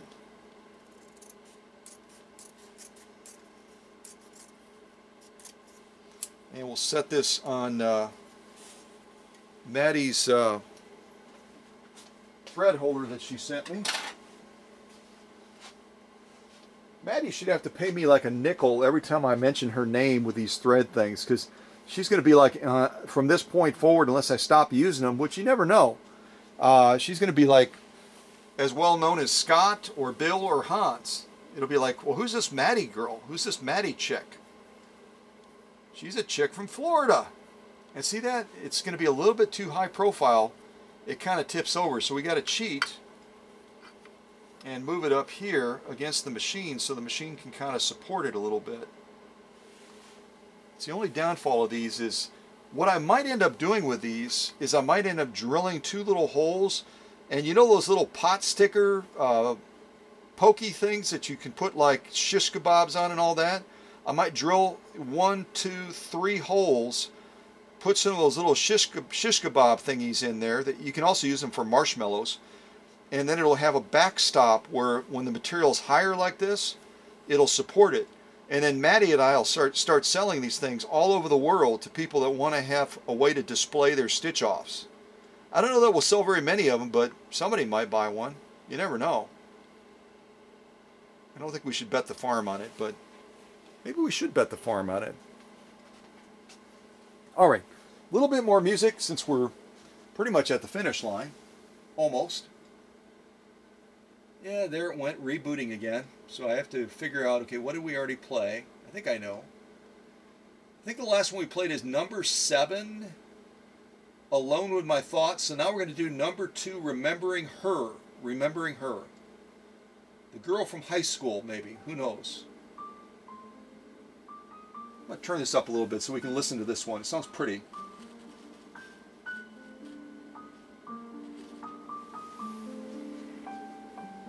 Yeah, the angle isn't quite right on. Yeah, okay, I'm coming off the tripod. I'm looking at the angle and we're going to kind of be able to see them, but it's going to be a little bit off. So let's come off the tripod and shoot this straight on.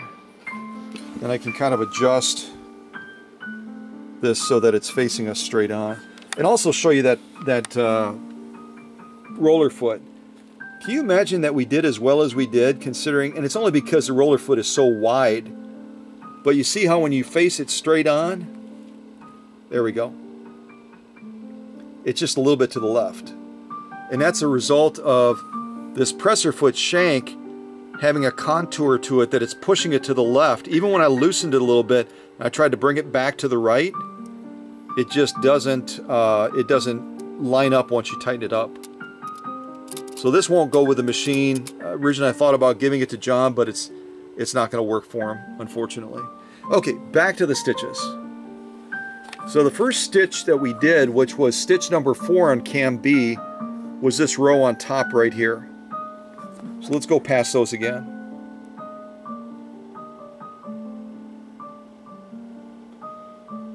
Then we did stitch number three on cam B, which is this one right below here. I call it kind of the uh, pine cone stitch. Then we just did stitch number two, which is this snaky pattern here.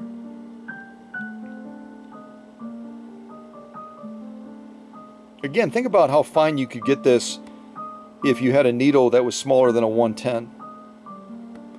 And we have stitch number two, which is this one right here, which we, wait, that's stitch number one. Yeah, because we didn't do stitch five, so that's four, three, two, one, and we did it twice because we had that little spin out there where if your stitch length is too short, the material doesn't move, and that's what it looks like right there. Yeah. So we did one perfect row and one less than perfect row. But it's still a beautiful stitch, and if you look at those in totality, the top one being stitch number four, then stitch three, stitch two, and then stitch one twice, um, that cam B is a pretty doggone cool cam for this Swedish beauty. Isn't it? I like it. If we turn it around, are we going to see anything shockingly different? Uh, no, we're just going to see the lock stitch, which is going to be absolutely spot on. We'll look at the first stitch on top that we did, which is the lock stitch for uh, stitch number four on cam B. Stitch number three.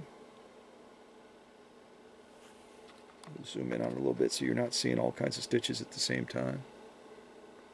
Stitch number two.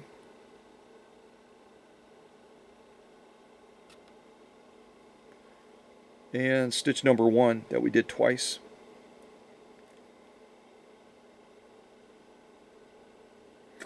So if we come out on this and we look at all the stitches together, again, taking into account that we, two things, take this into account. Number one, we're using a different thread than we used on Annette's uh, CI21A. On hers, we used the uh, thread that I bought at Joann Fabrics, the Americana quilting thread. On this one, we're using Coats and Clark thread. Of fact, it's this thread right here.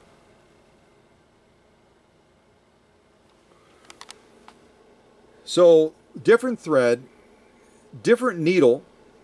On Annette's again, her Swedish Beauty, we just premiered, we used that fancy chrome size 100. On this one, we're using a general purpose type needle, general purpose type needle, and it's a size 110. I've never used a 110 before, and I knew I was going to be doing this cam stitching. I thought, I like to push the boundaries. I'm really going to push and see if this machine is performing well enough that it can lay down decent looking decorative stitches with a 1, 110 size needle. Unheard of absolutely insane. And you know what? The result is it did. Jon's machine did an absolutely spot-on job, as you can see in that shot. And this again is the lock stitch. We turn around, this is the top stitch. And uh, Jon's machine did a fabulous job. It just did a fabulous job. So I would call that a definite pass as well. All of Cam B we sewed, minus the zigzag. And uh, Jon's revitalized, renewed uh, Type 21, again with that 1.5 amp free Westinghouse uh, motor. It's not a Swedish motor in this machine, it's the free Westinghouse 1.5 amp motor. And that motor has plenty of power and uh, performed beautifully during the course of this premiere. I'm very, very pleased. Very pleased. Yeah.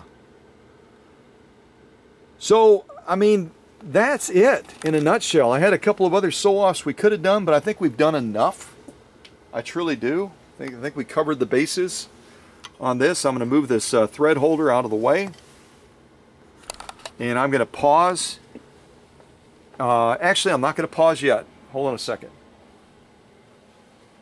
Oh, I should show you this workbench. I'm finishing up Tony's 1591 right now on the other workbench. Kind of busy here right now. So we'll focus on Tony's 1591 real quick, which as you can see from this pile, it's going to have quite a bit of rewiring, kind of like his 201. And uh, this will be a machine that's premiered very, very soon. And it just recycled again. Oh, and we still have to go to Facebook. You thought I forgot. Uh-huh.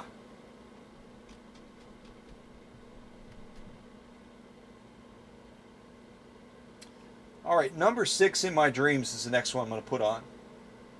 Number six in my dreams. Yeah, Tony again is out of Ohio. I don't know if you remember him. He originally sent me a Spartan, and I did such a great job on that machine and gave it uh, just a rebirth as far as power. He goes, I want you to do the same thing to my 201, and then eventually he sent me this 1591. And so this will be the final machine that I have of Tony's right now that I'm going to finish up for him. Uh, that's going to get quite a bit of rewiring. I've already done the foot controller. I've got to do the machine now. And then go through and do all of my finalization process on it. So that'll be fun. Kind of a melancholy mix thing where this will be the last machine I have of Tony's. But who knows? Maybe Tony will send me more machines. That would be cool. Okay, what was I going to do? Yeah, let's not do that yet. I was going to... That's Hank. You guys know Hank. He's upset about something. All right, let's go back up on the tripod and we'll look at these Facebook shots. I've got three sets of Facebook shots I want to show you and then we'll close out, last but not least, uh, with uh, Jon's uh, machine. I should say his Swedish Beauty. All right, let's zoom in on this.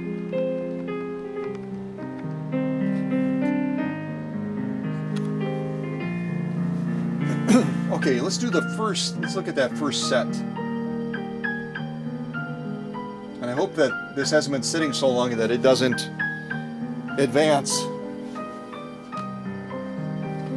So here you can see I've taken the bottom of Jon's machine off because some of the things I needed to go after on his machine required that level of access. So I took the bottom of his machine off and also you can see the motor cover off as well and there's a number of other parts off screen that you can't quite see.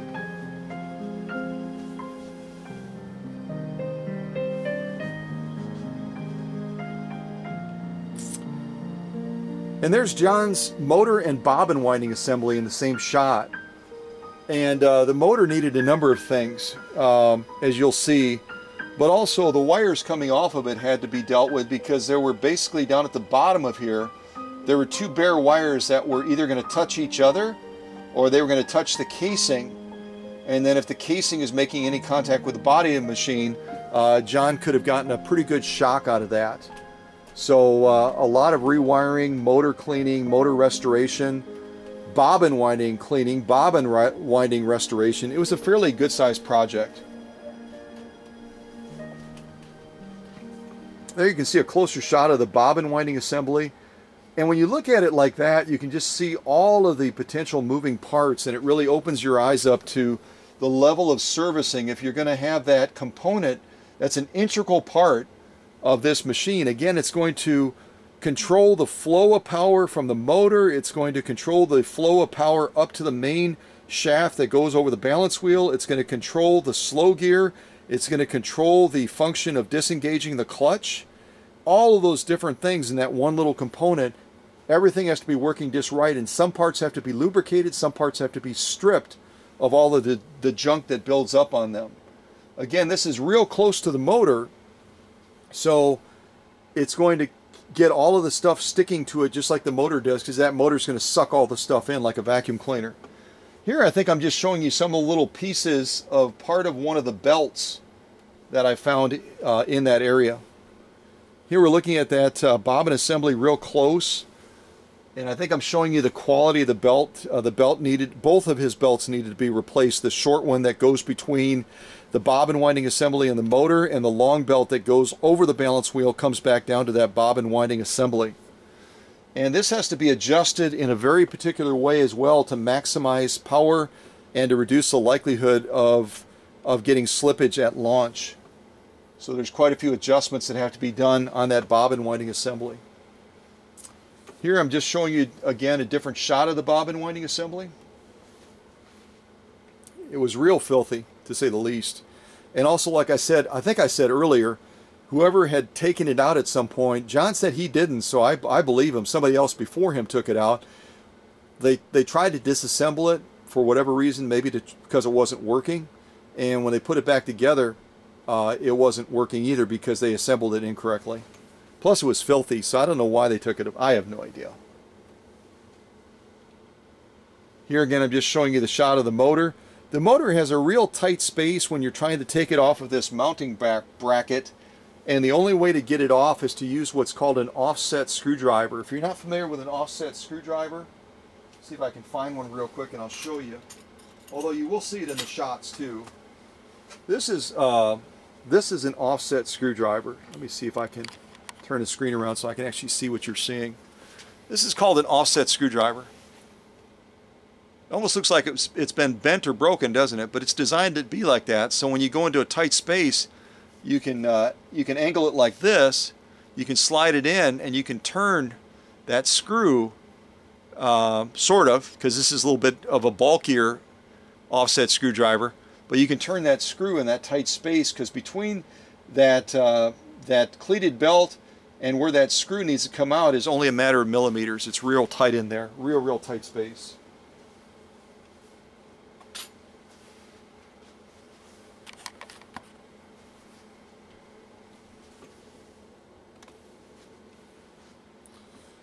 So there you're able to see a little bit of the uh, patina and it and it gives the machine more of a um, brownish green look than it actually is. But you can see if I kind of go around a little bit you can just see all the potting marks and just it's nasty looking.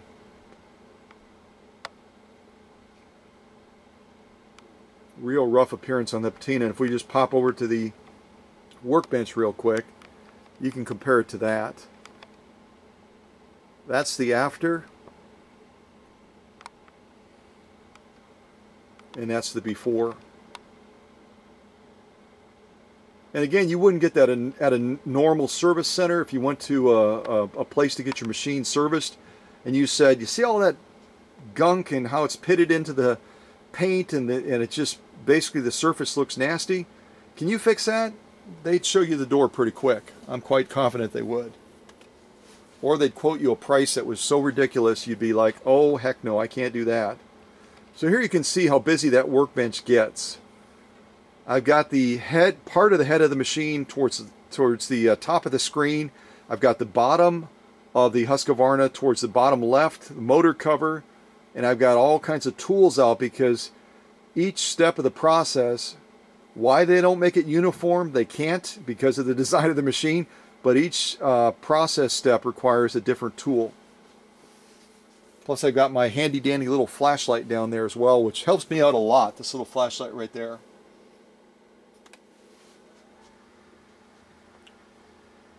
Is that it? Or is it just real slow? Did the maybe the internet went out?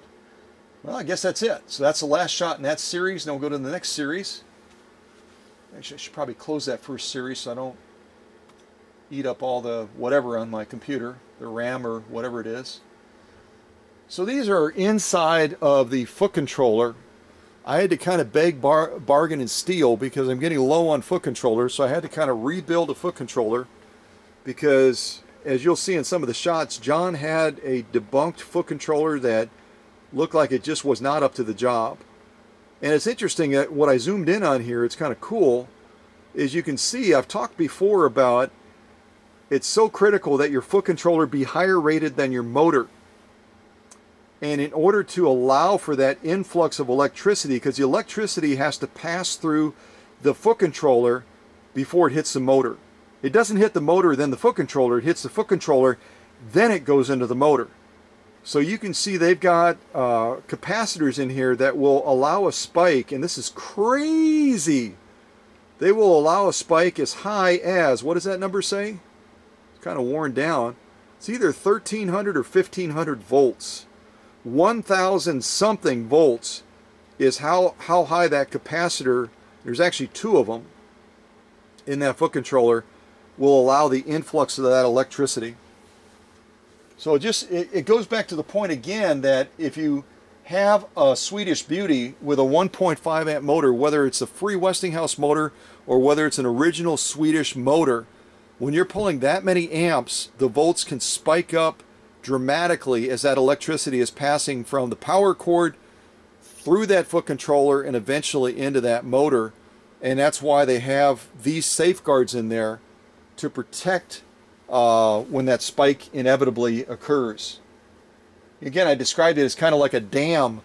You know, when you open up a dam fully, it's going to allow that big flow of water, and then you hold it back with the dam to slow down the water flow.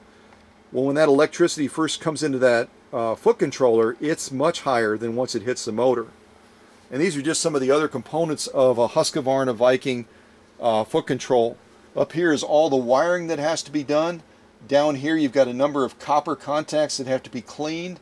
You've got wires that have to be verified that are part of that entire uh, circuitry inside of that foot controller. One of the most complex foot controllers that's ever been made, quite honestly. And here you can see kind of what Jon was starting with. Um, that brown style, I would almost call it kind of an original Japanese style type uh, foot controller. You found a lot of these on Japanese machines. Um, was only rated at 1 amp. And it had been damaged at some point and also had a lot of rust in it.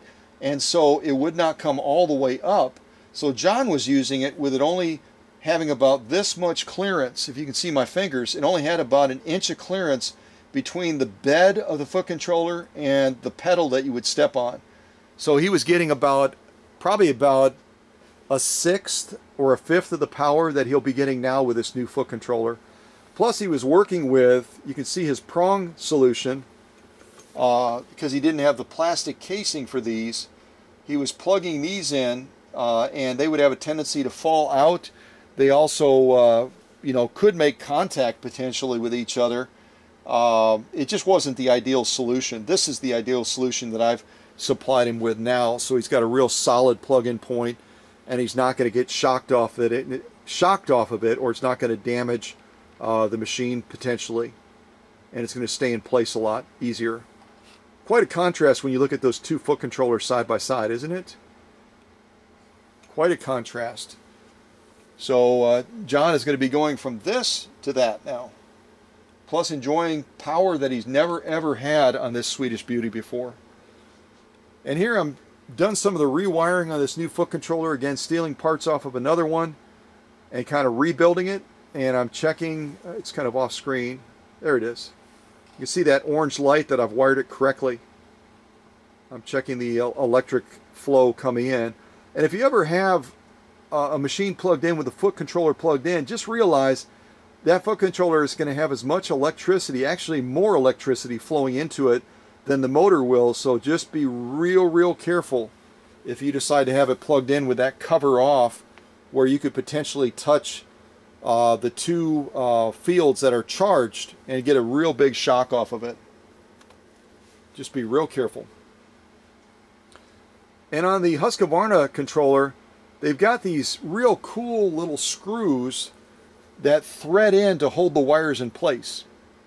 It crimps them down fast and furious and it holds them in place very, very nicely. Just doing some more of the wiring on uh, Jon's foot controller, his new one. Running some more wires in.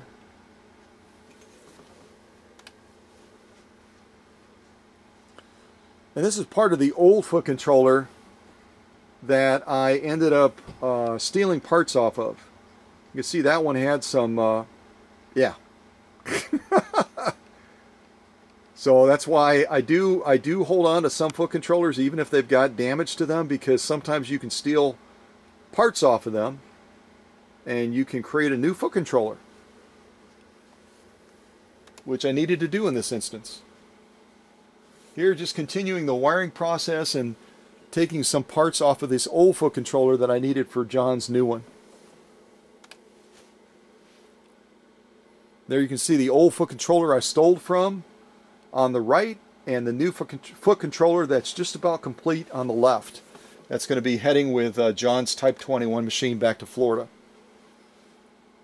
Here again you're seeing some of the old with the new.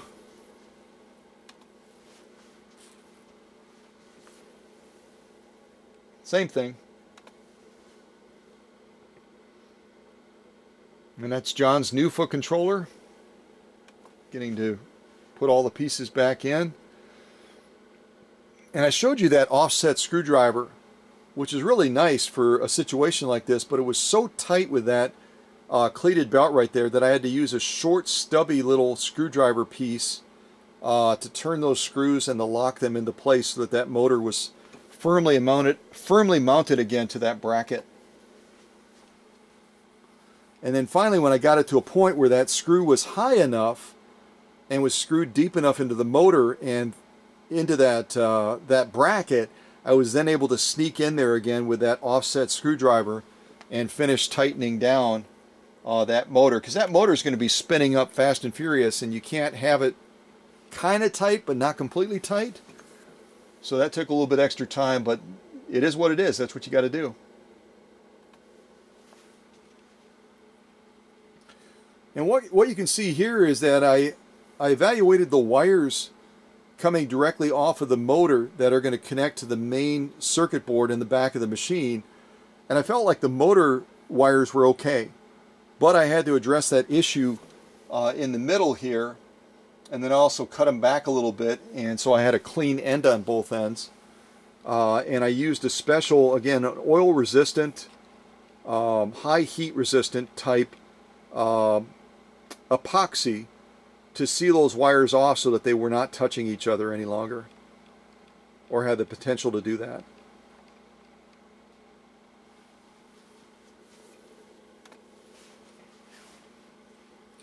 In the back of Jon's machine, and I don't know if it happened in transit. Uh, again, Jon's machine was padded pretty good, but it had a lot of space in the box. If you if you didn't see the unboxing of Jon's machine, you should go back and watch that because you'll see he had a a decent uh, padding around the machine, uh, but there was a lot of empty space in the box, and so that machine had the potential to be bouncing up and down quite a bit. So I don't know if this happened coming from Florida to the workshop or if it happened some time ago. But this is, as you can see in the shot, this is where you plug in the foot controller and it mounts to the machine and so that it's not compromised because there's a lot of electricity running through that area right there. I uh, filled that crack and compressed it uh, to try to effect a, a, repair as best as I was able so that that area was stable again. And that's after the uh, oil resistant epoxy, it's a clear epoxy, went into that cracked area and then I uh, took this screw and snugged it back down once that once that uh, epoxy um, set and was dried. But I'm using a special tool, you can see one of my dental tools, to press that down into the crack so that there was a good solid repair. Again, you're not going to get that if you go to a repair shop. it's not going to happen. They won't even look at that part of the machine. So here I'm giving the bobbin winding assembly a bath. And again, the shots that I show you, I'm limited to a certain number of shots on Facebook, so I don't show you all the shots of every step because I just don't have enough space. They don't give me enough space. But this gives you an idea of basically flushing that out, taking uh, some of these pieces off that have been put on backwards and uh, put on in the wrong sequence so that the slow gear was not working. It had no ability to work. And that had to be very frustrating to Jon because Jon is a very smart, technical guy that used to work on commercial and light industrial type machines, but isn't as familiar with these types of machines. And he's probably looking at this thing going, What am I missing? And, uh, you know, unless you spend a lot of time working on these machines, I sometimes will look at something initially and I'll go, What's wrong with it? Why the heck isn't this working? Then I'll take a second look at it and a third look, and all of a sudden it'll jump off the page at me and I'll go, oh, I see. So this is a special solvent that I put on there. It's almost like when you go to the car wash and it goes through those different phases of wash, uh, soak, uh, clear coat, uh, spot free, all that kind of, it goes through all those different, if you've never been in a car wash, put that on your bucket list too, because it's fascinating. I watch it just because I love watching how the machinery works especially the laser ones that come within inches of your car but they never touch you. I just think that's so cool. So this is my phase of soak where I'm getting all of that grease and grime off of Jon's bobbin winding assembly so that I can go in there, disassemble it, clean stuff that I couldn't reach with this solvent, which has to be done with dental tools, and uh, also uh, brushes, and then finally reassemble it properly so that you could see it perform flawlessly as it did during the premiere today. Again, Jon has never had a chance to use the slow gear. Number one, he didn't know about it. Number two, when I when I when I had a chance during our interview to tell him about it and explain how it works, and he tried to engage it, it wasn't going to engage because it was it was filthy as heck. It was uh, also assembled in the wrong way. So here's a real good shot that shows that bobbin winding assembly. Here you've got parts over here that have to be stripped. Here you have parts that have to be stripped with other solutions where that belt is going to be riding. This, this belt right here uh, is going to be uh, going between the, uh, uh, the, the assembly and the motor. So this is a critical pulley part of the assembly right here. And then you've got another one that's covered in that soaking solution right now that's going to have that long belt going from the bobbin assembly up to the balance wheel. So all these parts of the uh, bobbin winding assembly have to be cleaned, but you can't use the same cleaning solution on all of those parts. It's not going to work. And then there's certain parts that have to be stripped clean, other parts that have to be lubricated. It's a very complex mechanism, and there's a lot of things that have to be done to it. Take a look right there. This is kind of the before, looking at all of that grind between those cogs that are an integral part of that being able to shift gears to be able to go into that slow gear and there's all kinds of grime and gook and yucky stuff in there that are going to inhibit that from working as well as it can. More detailed cleaning. Again, without dental tools, a lot of this would not be possible. And then certain parts of it have to be, uh, you have to use Q-tip swabs with a special stripping solution to get all that junk off of the other parts. This is the little piece that is on the side of the machine that you pull out to engage that slow gear. Uh, and when I disassemble the bobbin winding assembly, this is a piece that comes off as well because it has to be clean, but also oftentimes because it's being slid out, pushed back in, slid out, pushed back in, slid out, pushed back in. And the assembly that this slides over has screws on it that sometimes are not clearing this real well. And so it ends up causing the plastic on the inside to become scarred. And that was part of the case with Jon's as well. So I had to go in there and address that initially with a dental tool. And then after I got some of the big chunks off, I then had to use a special uh, sander. That's showing a little bit closer up. You can see, uh, see how that's all scarred up inside of there? And that also makes it a lot more difficult. Even if the bobbin assembly had been assembled correctly and had been absolutely cleaned and lubricated and stripped in all the right places, it still would have been tough to pull this out because it was all scarred on the inside of there and this has to slide in and out past the inner stem that's part of that bobbin assembly and it was just it was catching on all of these plastic barbs so here I'm going in with a it's not a Dremel tool it's like a poor man's Dremel tool and I'm using a special grinder to try to strip all of those barbs of plastic off and get at least a rough surface that I can then sand down so it's nice and smooth. What do I have there? I'm trying to see. I'm measuring something and it's right around uh, four millimeters and I'm trying to remember what that is. It might be it might be part of uh, a motor brush. You'll have to forgive me. I, I've been touching so many machines and I, I don't remember what that is. I think it's part, yeah, it looks like carbon. looks like a carbon piece. Yep. Now we're focusing on the uh, copper wells that go into the motor because those were all, those had major issues going on. So that was, that was part of the carbon. And also I'm getting carbon out of the motor too. Carbon should not be qu quite as uh, granulated as this. It should stay, stay solid until the machine motor consumes it and then there's some dust residue, but this is excessive. Also, the spring had broken free of the carbon that was remaining in the well that had fossilized at the bottom. And so that was having to be addressed as well. And here you can actually see the branding on the motor, which you can't see until you, until you take the motor cover off. And you can see it's branded as a Westinghouse uh, 1.5 amp motor. Again, I found them to be very fine motors. The only difference is, and this is how Jon and I ended up meeting and becoming friends, is he had contacted me because I sell certain motor brushes on eBay and he had contacted me and said I need motor brushes for a green Swedish Beauty. I don't think he said Swedish Beauty, but he, you know, my green Type 21 or whatever. And uh, I sent him the motor brushes and they were for a Swedish motor uh, which uses a larger motor brush than these Westinghouse ones.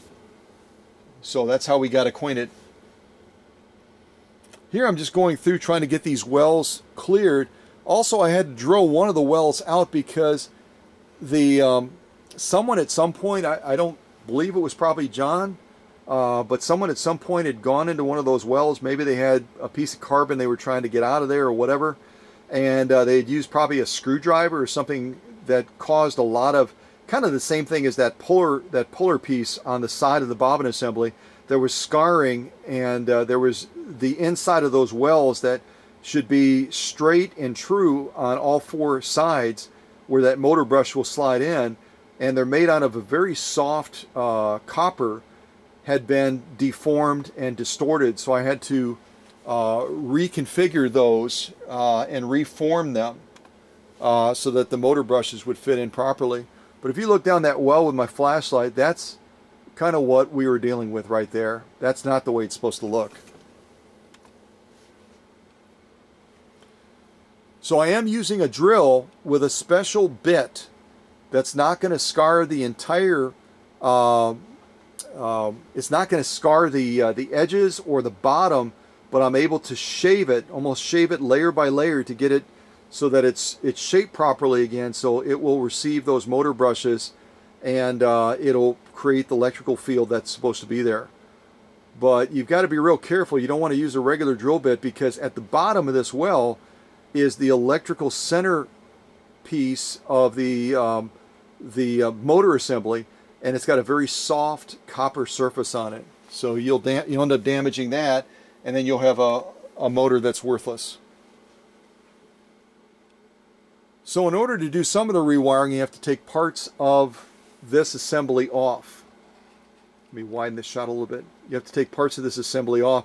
There you can see the repair that I did to this crack piece that was on the rear of the machine.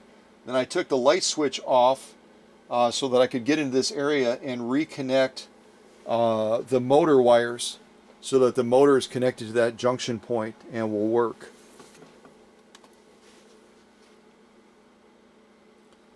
Now you can see one wire. You have to kind of, it's a real tight space in there part of the reason you have to remove this light switch from being mounted on the machine to fit that in there. And then you have to tuck it, you have to basically tuck it a 90 degree turn uh, into the uh, tiny little screw point that's going to hold that wire in place and you have to get it all the way in there while you're managing not forcing this uh, switch out too far where you could damage the wiring or break the switch and at the same time you got this other wire that's in the way of it's it's a nightmare to get in there but eventually I got it and, and I had to do the same thing then to this wire down here for the other motor connector. You got to be real patient in my line of business. You have to be very patient. So there's more distant shot of kind of what I'm working with. Maybe the last picture. Yep, it is. I just have one more set. You guys are real patient, but I think these are important that you see them, especially those of you that are on uh, YouTube but do not do Facebook. So now I'm over by, I've taken off the uh, the top and the bottom along with uh, the, uh, the feed dog cover as well and I've exposed the in, inner part of that uh, free arm which has so many service points on it it's absolutely crazy. So many service points. And a lot of this has to be stripped down because there's just a lot of buildup on there. And there was some rust as well.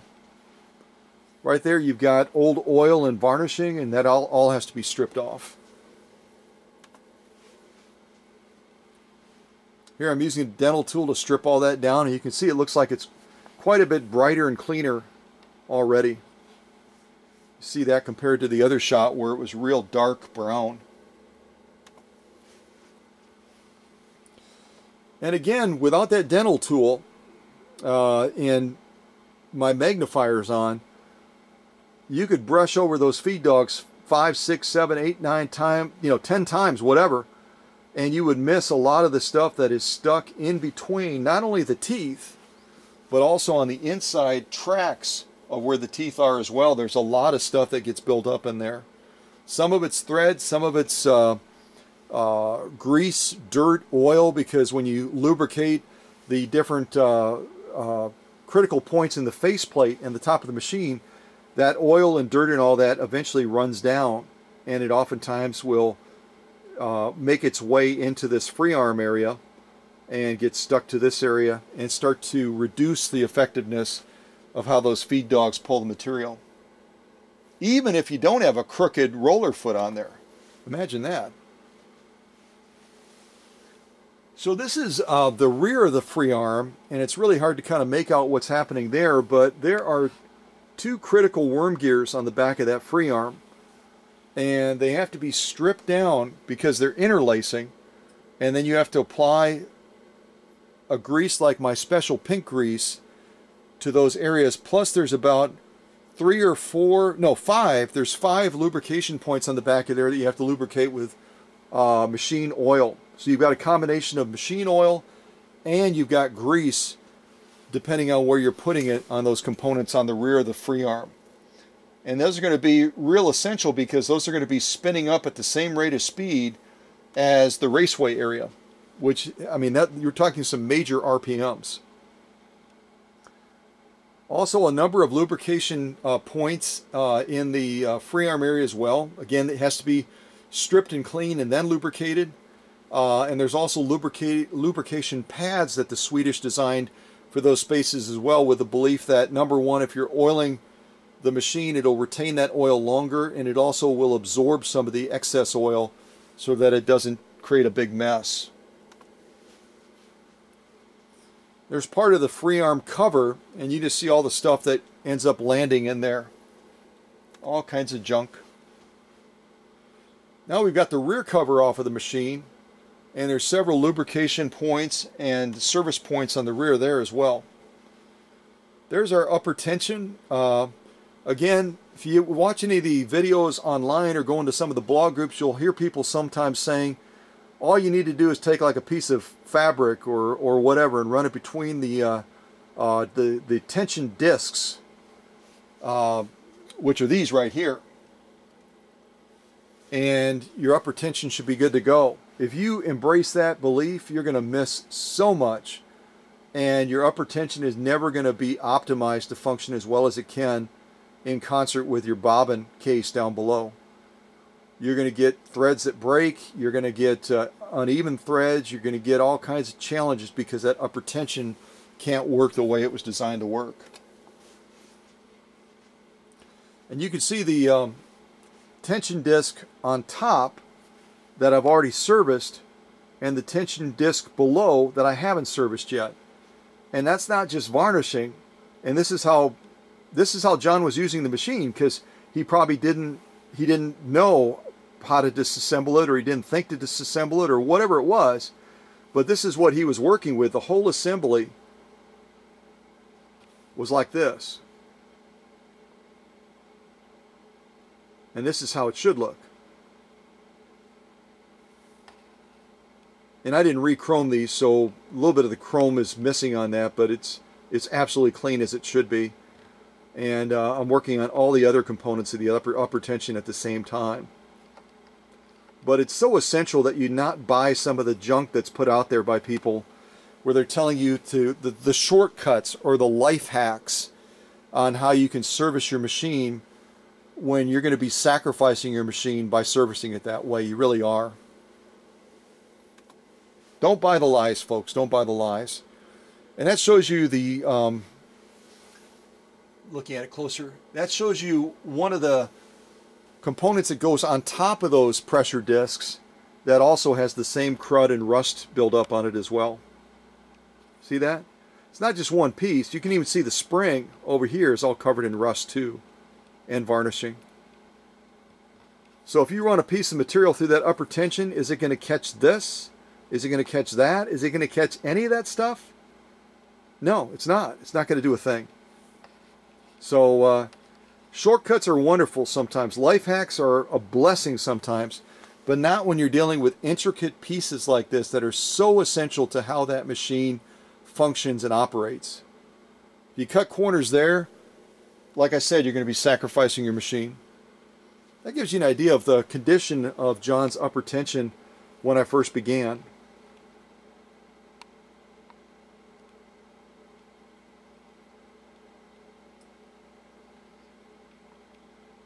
Pretty crazy, huh? And Jon, when I when I share with him a little bit about some of the stuff I was finding, he goes, "Well, you know the rules, Scott. You don't you don't buy a car from a mechanic."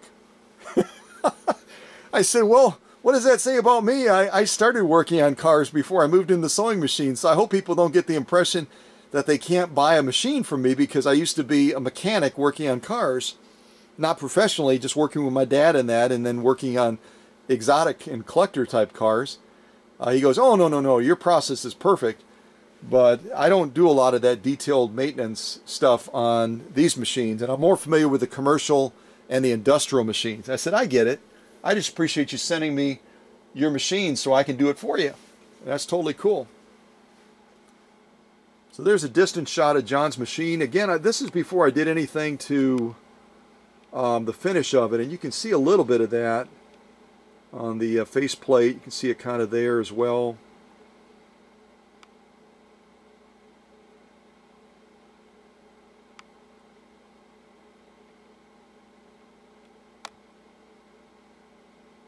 And again, if I go over to the other workbench, it's not perfect. It's not perfect by any stretch of the imagination, but does it look better than with what I started with? Absolutely.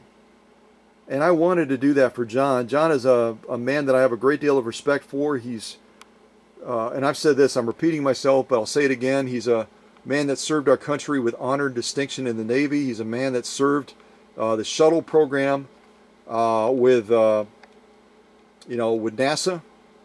And again, if you go to a service center, they're not gonna they're not gonna spend time to clean up all this chrome. Look at on the chrome there; it's more brown than it is chrome, and that's all varnishing and rust. But I wanted to do that for Jon because, uh, you know, he's he's a man that I respect greatly. Upper tension was that's while it was still in the machine before we pulled it out, and I found all the all the rust and everything.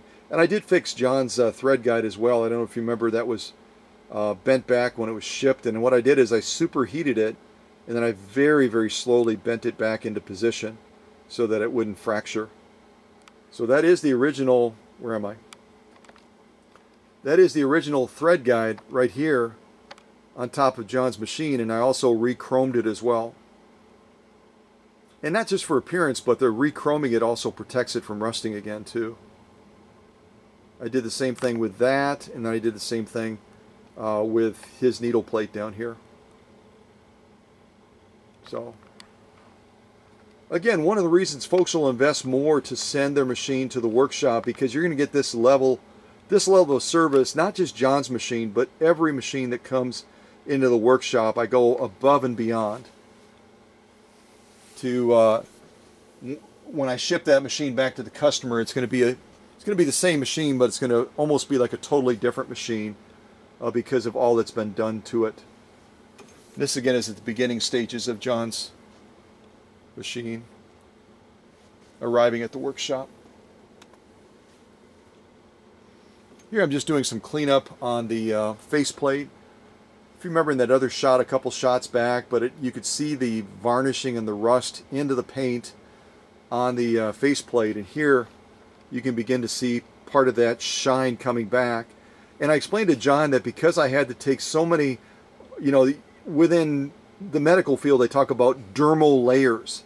In other words, our skin, our skin has multiple layers going down uh, as you go deeper and deeper into the skin. It's the same thing when you're going into uh, a job like this where you're trying to clean up the finish of a machine so it looks more like this and less like those other photos where it had all of that junk on it and getting you know getting to a point where it's looking more like that machine over on the workbench. Um, you have to do that in such a way that you're stripping it down layer by layer by layer, but inevitably, because of all the damage that had occurred to Jon's uh, paint and his clear coat was all but gone um, I eventually had to clean up the machine as best as I could, take those layers down to a, set, a safe level so that not all of the uh, patina was gone. It was still it still looked like a Swedish beauty, but all of, you know the majority of that junk was taken away. And then I had to mask off the machine, and I had to lay down a, a level of clear coat over the machine again to protect the remaining patina that was on the machine. Otherwise, that would eventually start to flake and would degrade and then Jon would have he he he wouldn't be back to square one because the machine would be clean, but the the appearance improvements that I was able to bring to his Swedish Beauty would begin to drop off again because of the paint uh, not being protected.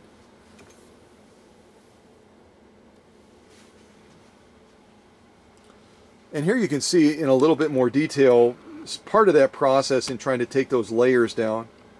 Here you can see the actual color of what the machine was supposed to be just above the Husqvarna branding there. It's not this color. It's this color right here. You can see I'm using a, a brush and a special uh, cleaning solvent that's clean, uh, good at cleaning, but also safe to chrome and uh, safe to uh, the remaining paint that's on the machine. So I'm soaking in and I'm, I'm gently brushing over and over and over again. You can start to see some of the chrome coming back into appearance there. But that was a very slow, tedious process. There's not much you can do about the paint loss there unless the machine is completely uh, painted again. But once I eventually masked, I, I had to mask the entire machine off and re-clear coat it.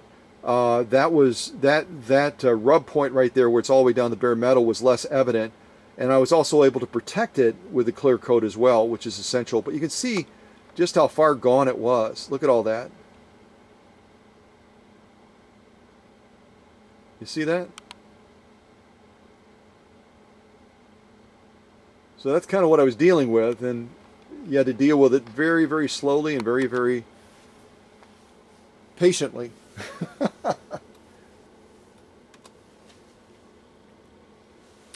Here up near the uh, faceplate as well, you can start to see some of the original color of the machine peeking through there above the upper tension. The upper tension has not been cleaned yet, by the way. See that? So once again, if you go with the advice of some of these knuckleheads on the internet that say just run a piece of cloth through your upper tension and it's going to be good to go, ah, uh, no. Nope, nope, nope, nope, nope, nope. So there you can see some of the actual color of the machine. That beautiful color that so many people admire about the Swedish Beauties. And then you can see what I was contending with right here. Made a little bit of a dent on top there. You can see that, that true color kind of peeking through.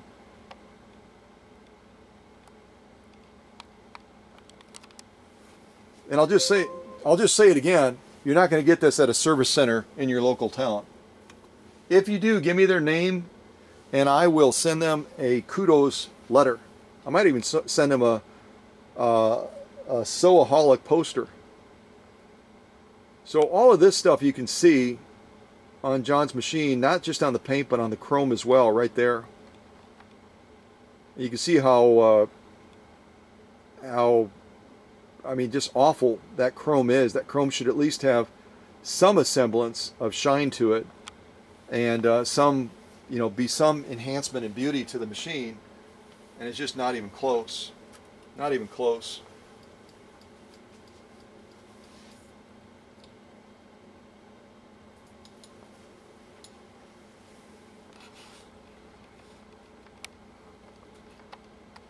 And again, I hope you can appreciate if you're if you are a Facebook person, you've already seen these, it just kind of reminds you again the amount of time that I put into projects and if your machine is here and you're like, why hasn't Scott gotten to my machine yet? Why hasn't he gotten to my machine? Because as I am servicing some of the machines that are before yours, I discover things like this and I cannot send that machine back like this to the customer. I just won't even if it means me losing money on the project. Uh, I'm going to go to that extra effort of trying to send that machine back in a way that it's going to it's going to be improved. Now, if you look at that, get that get that fused in your mind the way that looks right now.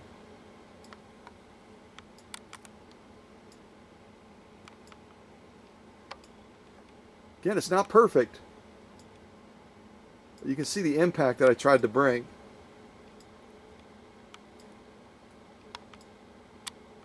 And again, it's not a matter of, matter of just trying to wipe that stuff off. That stuff, like a cancer, gets deep into the pigment of the paint, well below the clear coat. It gets into the paint, and you have to take it down layer by layer by layer by layer uh, to try to eradicate it. Here's on the back of the machine. You can see we're starting to make uh, an impact. See there on the cloth. And you can see some of that color, the natural color that machine starting to come back through. Just beyond it, on top, you can see all of the junk that's still pitted and uh, embedded into the paint. So it was it was rough. I'll just say it the way it is. It was rough, and and uh, I don't think Jon Jon in the least would disagree with that. It was it was in a real rough condition as far as the um, the machine and the paint. Here you can see we're starting to break that down. I always say we, it's just me, folks. I always try to emphasize that. I, hey, just me, it's just me. You see all the deferred maintenance there? It's just caked in oil and dirt and all kinds of junk.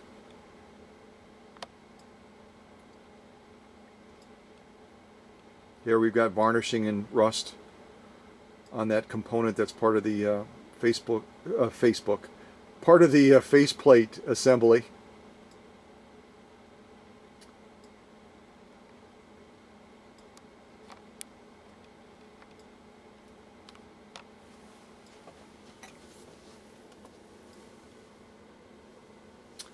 And what I'm showing here is that um, there were some mis mix missed.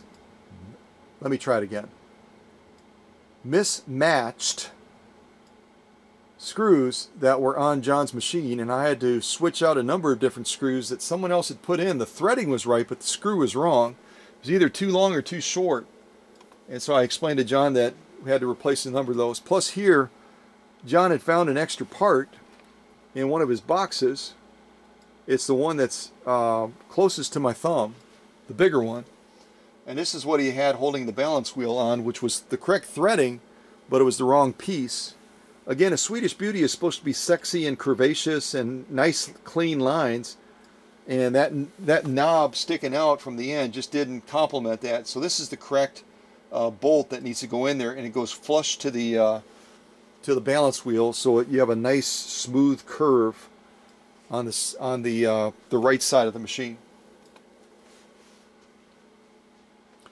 And that's part of the that's the balance wheel taken off. And what I'm doing is I'm doing some deep cleaning on that as well on the inside portion that mo most people would never even think of pulling off, but because again that's right next to the motor it gets caked with a lot of the stuff that the motor sucks in and then it eventually migrates from the inside of that balance wheel to the track that that belt is running over and then all of a sudden you start having slippage issues and that belt will age much more quickly and break down because all that oil and stuff gets into the belt and then it causes those uh, the fibers of the belt in that to degrade so getting all of that junk off, and this also had to be cleaned all around the outside edges as well. But look at that stuff. Is that what you want on your machine? So uh, again, if you went to a, a, general service center, they would charge you 125 to 150 bucks and never come to any of these areas of the machine to service them, including this bobbin assembly. Quite honestly, most service people would probably be terrified to take it out because like I said you have to get it you have to get it balanced in there perfectly and get adjust get it adjusted in such a way that it's going to give uh, adequate but not excessive tension to the vertical belt and the horizontal belt on there and there's a lot of tweaking you have to do to get that sweet spot so they would just leave it alone and uh, while while Jon's belts were not in horrible condition uh, this one is starting to break on the right hand side, so I replaced that. Uh, this is the short belt, I believe. And then you can see to the, the one on the left side of the one that's broken is the new belt that I replaced it with.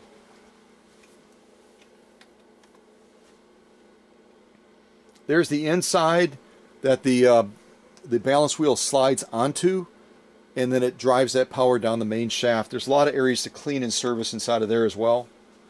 Again, how many steps do I have in my process as you start to look at this machine in greater depth? All of a sudden, a 126 step process doesn't seem ridiculous because you're looking at all the components that make up this machine, this Swedish beauty, and you're saying, oh yeah, I could see that.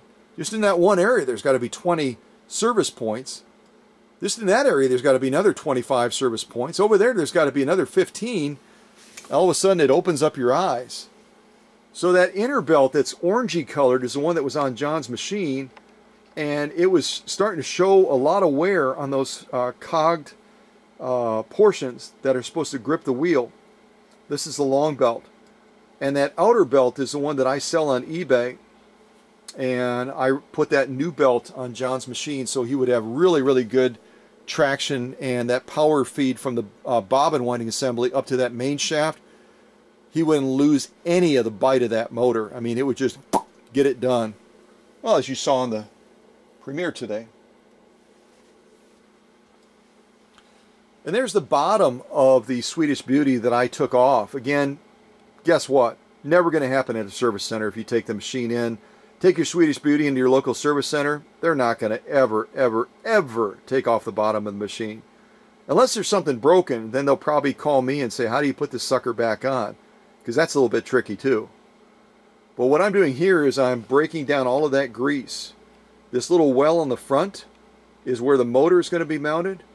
This other well right over here is going to be where that part of that bobbin assembly is uh, in conjunction with. And uh, all of that dirt, grime, junk has to be taken off of there uh, or it's going to eventually migrate back into the motor again. So all of that stuff has to be cleaned off before the uh, machine is reassembled. There's no there's no life no life hack to properly service a Swedish Beauty. There's no life hack, folks. Sorry to tell you that. A lot of hard work. And here I'm putting on a, I'm looking at uh, doing some measurements to put on a new power cord uh, for Jon because his was in pretty bad disrepair as you'll see in some of these, uh, some of these shots.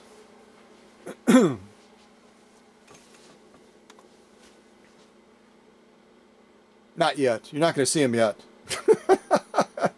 That's Jon's new foot controller. Doesn't that look a lot better than that other nasty brown one that looked like it, well, it, it was bad. It was real bad.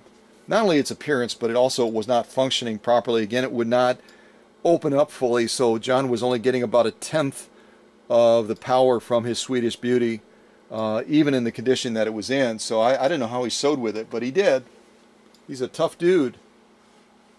So here I'm reinstalling uh, a new wire, a new wire lead, because the old one was uh, pretty broken down. And uh, there's quite a bit of, you can see that new wiring there. Uh, there's quite a bit of disassembling that you have to do to get those wires uh, reconnected. Plus all of the copper contacts that are part of that whole junction right there have to be cleaned off as well. I did some research after one of the premieres where someone had said, um, they didn't say iron oxide, they said something else to describe what that green stuff is that sometimes appears on copper. And so I got curious because I'm not a scientist. Um, I have a graduate degree in, in science, a master's of science, but I don't have a science background. I'm not a biology dude. I did some of that way back when, but you know, that was way back when and it was at a real low level.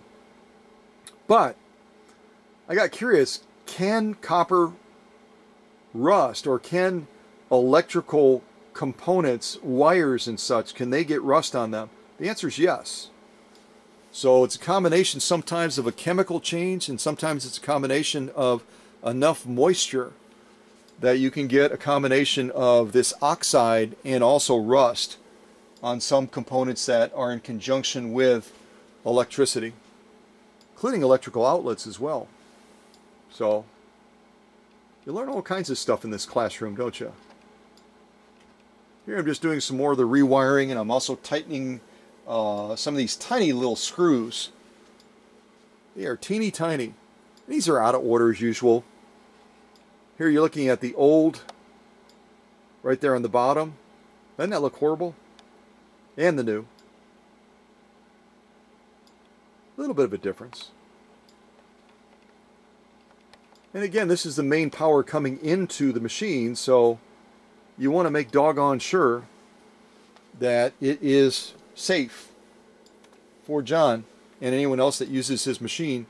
Maybe his uh, grandson Nick might also use the machine as well. Shout out to Nick! Shout out to Nick! Nick is uh, one of uh, Jon's grandsons, and Nick is on fire for sewing on fire for anything that Grandpa's doing, I think, because like me, obviously Nick, as his grandson, respects his grandpa to the hilt. And uh, why wouldn't he, right? And so uh, Nick is really into sewing right now, so Nick might also use this machine as well. But whoever uses it, I want it to be, I wanted it to be safe. So here I'm stripping down wires. I'm using one of my special uh, wire strippers. Love that little stripper thing that you see in the picture right there. It works real well and it doesn't damage the wires and it just does an excellent job of stripping down uh, the wires. Here again you can see just the contrast. Uh, the old that's still connected to the machine and uh, the new wiring. Which also if you look at the gauge of this wiring, it's almost like lamp cord compared to the power cord that I uh, ended up wiring to uh, Jon's machine. And why do I do that again? It goes back to that capacitor you saw where that electricity going into that foot controller, which eventually, you know, it goes into the foot controller after it goes through this junction on the machine, then eventually makes its way into the motor. It can spike potentially all the way to 1200 or 1500 volts, you want to have a you want to have a power cord like this, not like that. There's no life hack for that either, folks. There's no life hack for that. so here I'm just doing more wiring on the foot controller. We're back to the foot controller. We were at the, uh, the back of the machine before that. More wiring on Jon's new foot controller.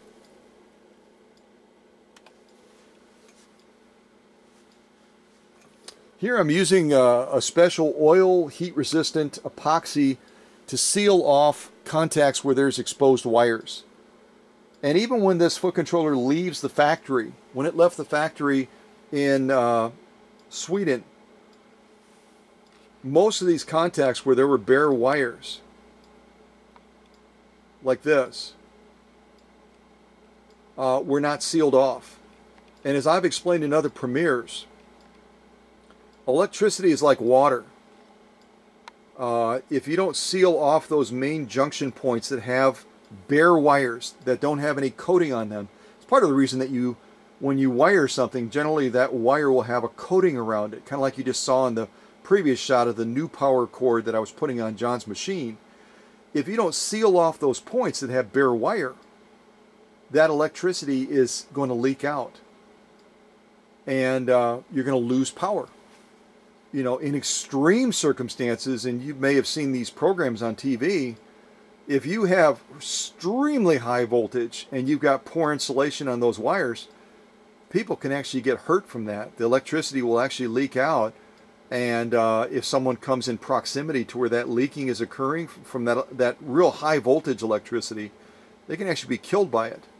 So that's why insulating wires is so critical. And I always try to do that on any bare wires in the foot controller or anywhere else on the machine. Motor area, all those areas. I try to seal them so that that electricity is not going to be a threat uh, or it's not going to uh, degrade the performance of the machine either. That must be the last picture because it's not going anywhere. Or my internet went out again, one of the two. Yep, I guess that's it.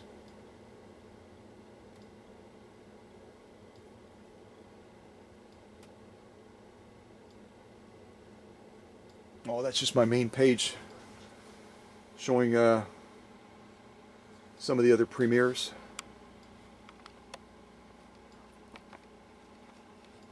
All right, let's come off the tripod and we're going to wrap this up. And I better not forget to ring the bell. I've gotten some notes from people saying you keep you you either forget to ring the bell at the beginning and you ring it at the end, or you these are my box closers. You know what I'm talking about? These are my box closers. So you saw all those pictures of Jon's machine before. Again, it's not perfect. But does that look like more of a Swedish beauty than the way the machine started? If any of you are wanting to say yes, put a smiley face in the chat.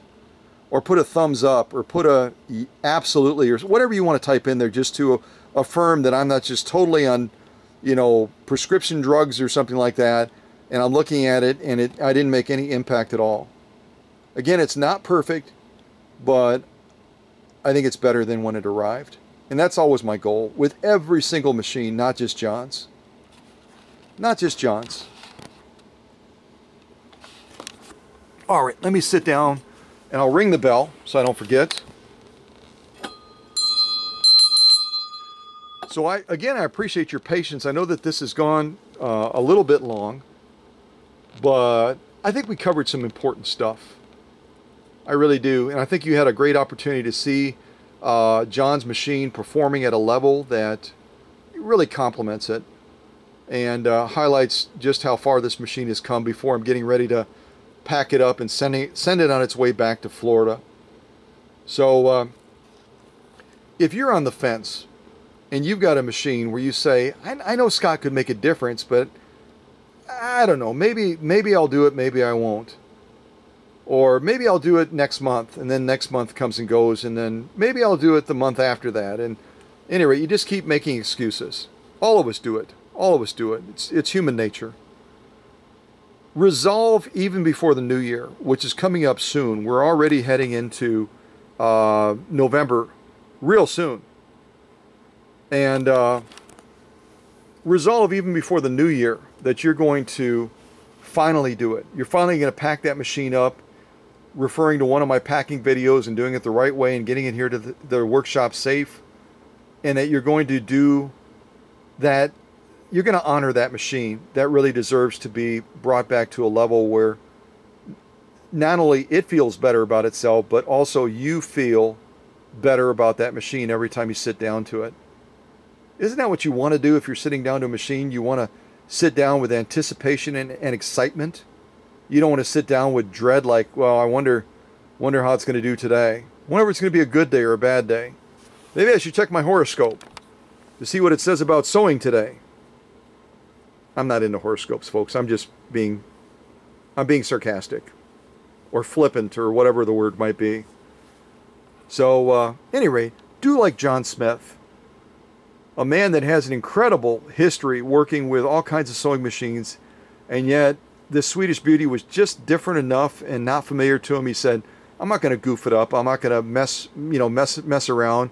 Plus, I I want to save some time to go golfing because he's quite a golfer, by the way." Not sure if Nick golfs or not, but uh, he just decided I'm going to pack it up and send it up to the workshop to my friend Scott. He'll take care of it. And I did. And I'll do the same thing for your machine. So resolve to do it. Right, Your Majesty? Yeah. All right, well, this ends the premiere. I already rang the bell. So uh, God bless you guys. And I'm going to quote something different today. I've been quoting the same thing, which I think is a fabulous quote. And if you're new to this channel and you didn't catch it, well, that's just too bad. Go back and watch the other videos and then you'll hear it. the quote that I, I, I've been doing is, is a good one. But here's another good one. I've got a couple of good ones. I'm trying to decide which one I want to give. I'm still deciding. I'm still deciding. Okay. I'll give this quote this time. The greatest prize in life is working hard at work worth doing. I think the full quote is actually far and away the greatest prize in life is working hard at work worth doing. But my point in sharing that quote is I have a great prize here, and it's because of all of you and because of the Jon Smiths and the Annettes and the Juliets, and the list could go on and on, the Debbies, and all of you, the Tonys. Um, I could do a parade of incredible people that have taken that step of packaging up their machine or machines, or jumping in the car and driving hundreds and hundreds of miles to come to the workshop because they recognize right away, after watching premieres like this, there's no way in God's green earth I'm ever going to get the level of servicing on my treasure of a vintage machine by taking it to a local service center. I would rather drive six or seven hundred miles from Ohio, or some customers that have driven all the way in from Arizona, or California, or North Carolina, or shipped all the way from Canada, or from Japan, because they say there's nowhere else on this globe that I'm going to get that level of servicing. If I want my machine to be all that it can be, there's only one place to send it. Same thing is true if you want to buy a machine. I've got a lot of machines available as well. Resolve to do something for goodness sakes. Won't you? all right, I'm to that tired point. I better hang up and let you all go because uh, otherwise I'll ramble for a while. You know me by now. But I appreciate you all so much. And I don't know if you ended up jumping into or not jumping into that major contest for us hitting the milestone of 9,000 subscribers. I know for quite a while we only had one entry, and that contest may have ended with no declared winner. Again, we have to have at least three entries for any contest in order for it to be a contest. If we only get one entry, no contest. If we only get two entries, no contest. So if it ended with no winner, then I'll have to decide what I'm going to do with that very rare uh, Husqvarna Viking Type 8E that Eamon Hans said over in Norway, right next to Sweden, you, you never see them. It's like a Cam D or a Cam E. You just don't see the Husqvarna Viking Type 8Es, especially not in the condition of the one that I offered to give away for the winner of that contest. So if that contest ended with no winner, it is what it is. What I would encourage you to do is to get ramped up and to get prepared for the next major contest, which is when we hit 10,000 subscribers. All I can tell you is that the prize that I'm going to give away is something that anyone will fight tooth and nail to try to win. That's all I'm going to say right now. All right, y'all take care and thank you again for your encouragement. Those of you that do Facebook and interacting with the posts that I make, uh, thank you for your encouraging comments. Thank you for your encouraging notes. Uh, encouragement goes a long way because let's face it, I work pretty much in isolation in the workshop. I just have my friends, uh, the King, Dr. Singer, Mr. Bean, and Herr Obermeister. Other than that, I'm on my own. So when you all send a note or you post something of encouragement, it goes a long, long way. So I appreciate y'all. Love y'all. And uh, God bless you. Take care. Oh, and Jon, thanks for sending me this Swedish beauty. And uh, you're going to have a lot of fun, my friend.